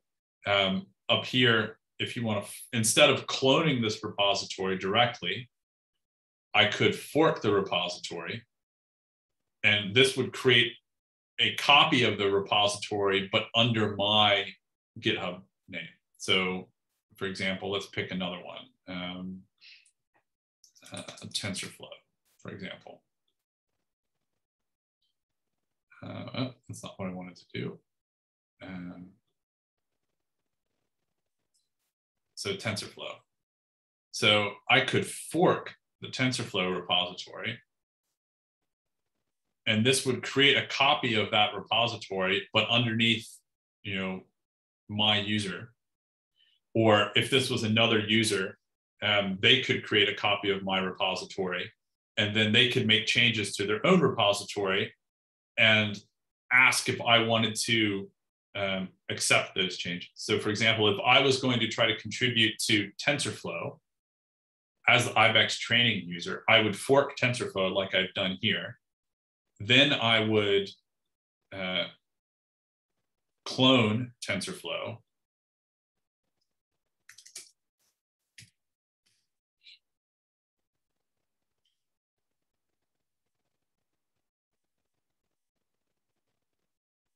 And then after I have a local copy of TensorFlow, then I would make changes and do whatever I wanted on, on TensorFlow. And then I would push those changes up to my version of TensorFlow. And then I would use GitHub to ask the original TensorFlow repo whether they wanted to accept my changes or not. And then there would be a process by which that would be adjudicated, something like this. So those are a couple of different ways that you can collaborate on GitHub. And I know I didn't have time to go through here the different details and things like that, unfortunately. Um, sorry about that. But again, hopefully you learned how to make SSH uh, keys. Okay. And yeah, so there's not, uh, conflicts was the other one that I had hoped to, to touch on a little bit. Right. Um, okay. So I think what I would like to do at this point. Um, ah, okay, so there's a question, can I clone just one file within a repo instead of the whole thing? Um, no, so you don't, um, so the short answer is no. Um, if there's one file from a repo that you want to that you want to use, you have to be um, you have to be you have to be a bit uh, careful in that if you when you clone the whole repo, you're pulling down the repo together with a license file and everything like that. If you just pick one individual file out of a repo, you've got to be careful to note yourself like where the file came from and um, and you know what the license was and you know who has the copyright on it and you can't just go into and copy a file and then um, reuse it without attributing it to where it came from. Um, typically what i do if i if there's some file in a github repo that i think is interesting or useful like i will um, generally not copy paste but will rather try to understand like what it's doing and then modify it to my own needs and then make a little note about you know put a little comment in my code that you know this came from and then copy paste the link from the github repo file into my script itself so like i got this idea from this particular location and then that at least provides some reference to like where it came from um, but yeah, generally you don't just clone a single file. Are there any other questions? Yeah, uh, David. So yes. when it comes to Git, can you, so far we've only seen examples with the text files.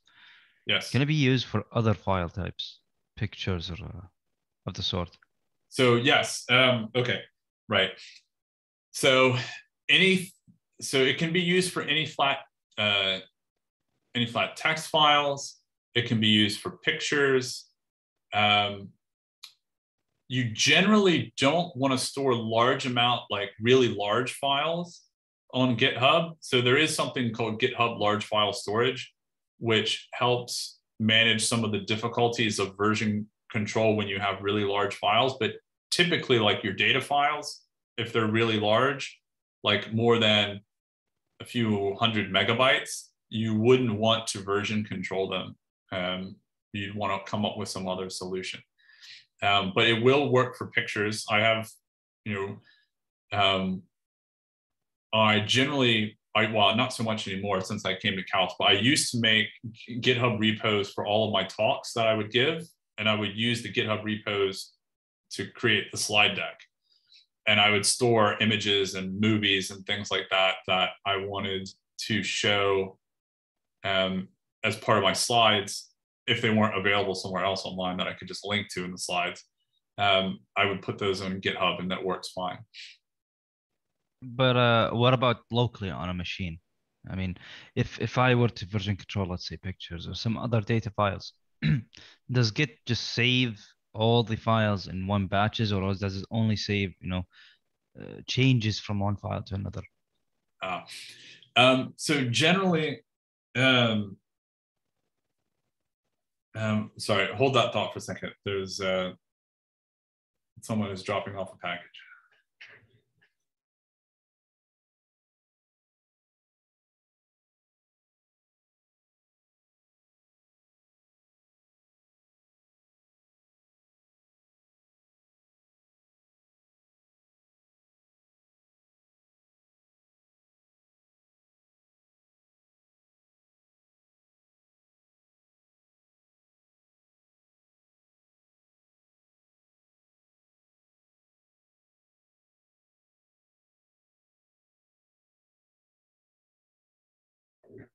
Sorry, very important package. In addition to my uh, computing teaching and things, I also really, really like to fish. And I just got a new fly fishing rod in the mail, so I'm very excited. Um, right, but your question was not about fly fishing. It was about um, um, version controlling locally um, things like images or, or data files. Um, right, so even locally, so I don't um, I don't version control large files even locally on my computer. Um, and particular like large data files that if I have large input, if I have large input data files, um, I won't version control them because they're generally not going to change. So there's kind of no point.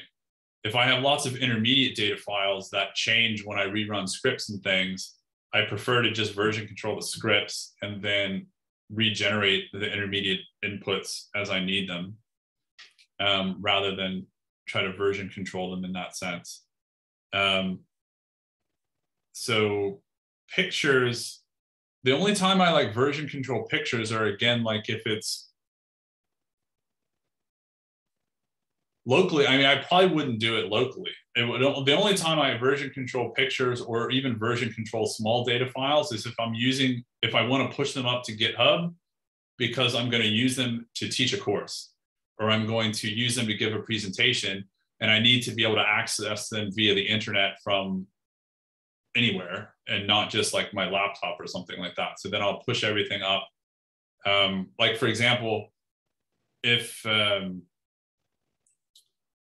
um, in the introduction to data science workshop, you know, last week we did Python. So if you look in the Python, so there's a whole bunch of CSV files here. Now these are small CSV files, and normally I wouldn't version control them, but I did anyway in this case because I needed to push them to GitHub so that everybody could use them as part of the Binder Hub uh, cloud computing instances. So that's an example of, of how when you might want to version control some small data files for like a, a, a teaching or a um, sharing a basic example or something like that um, with others. And let me see if I have any other. Um, so ah, so at one point I had a slide deck that went along with this course, and so here in the assets for that, I have some version controlled PNG files, which were referenced as part of the slide deck. So those are, you know, you can version control these files if you wanted. Um, so yeah, so you can do it, but the, the, the important thing to remember is don't version control large files. it will cause you load a headache uh, or loads of problems. Any other questions?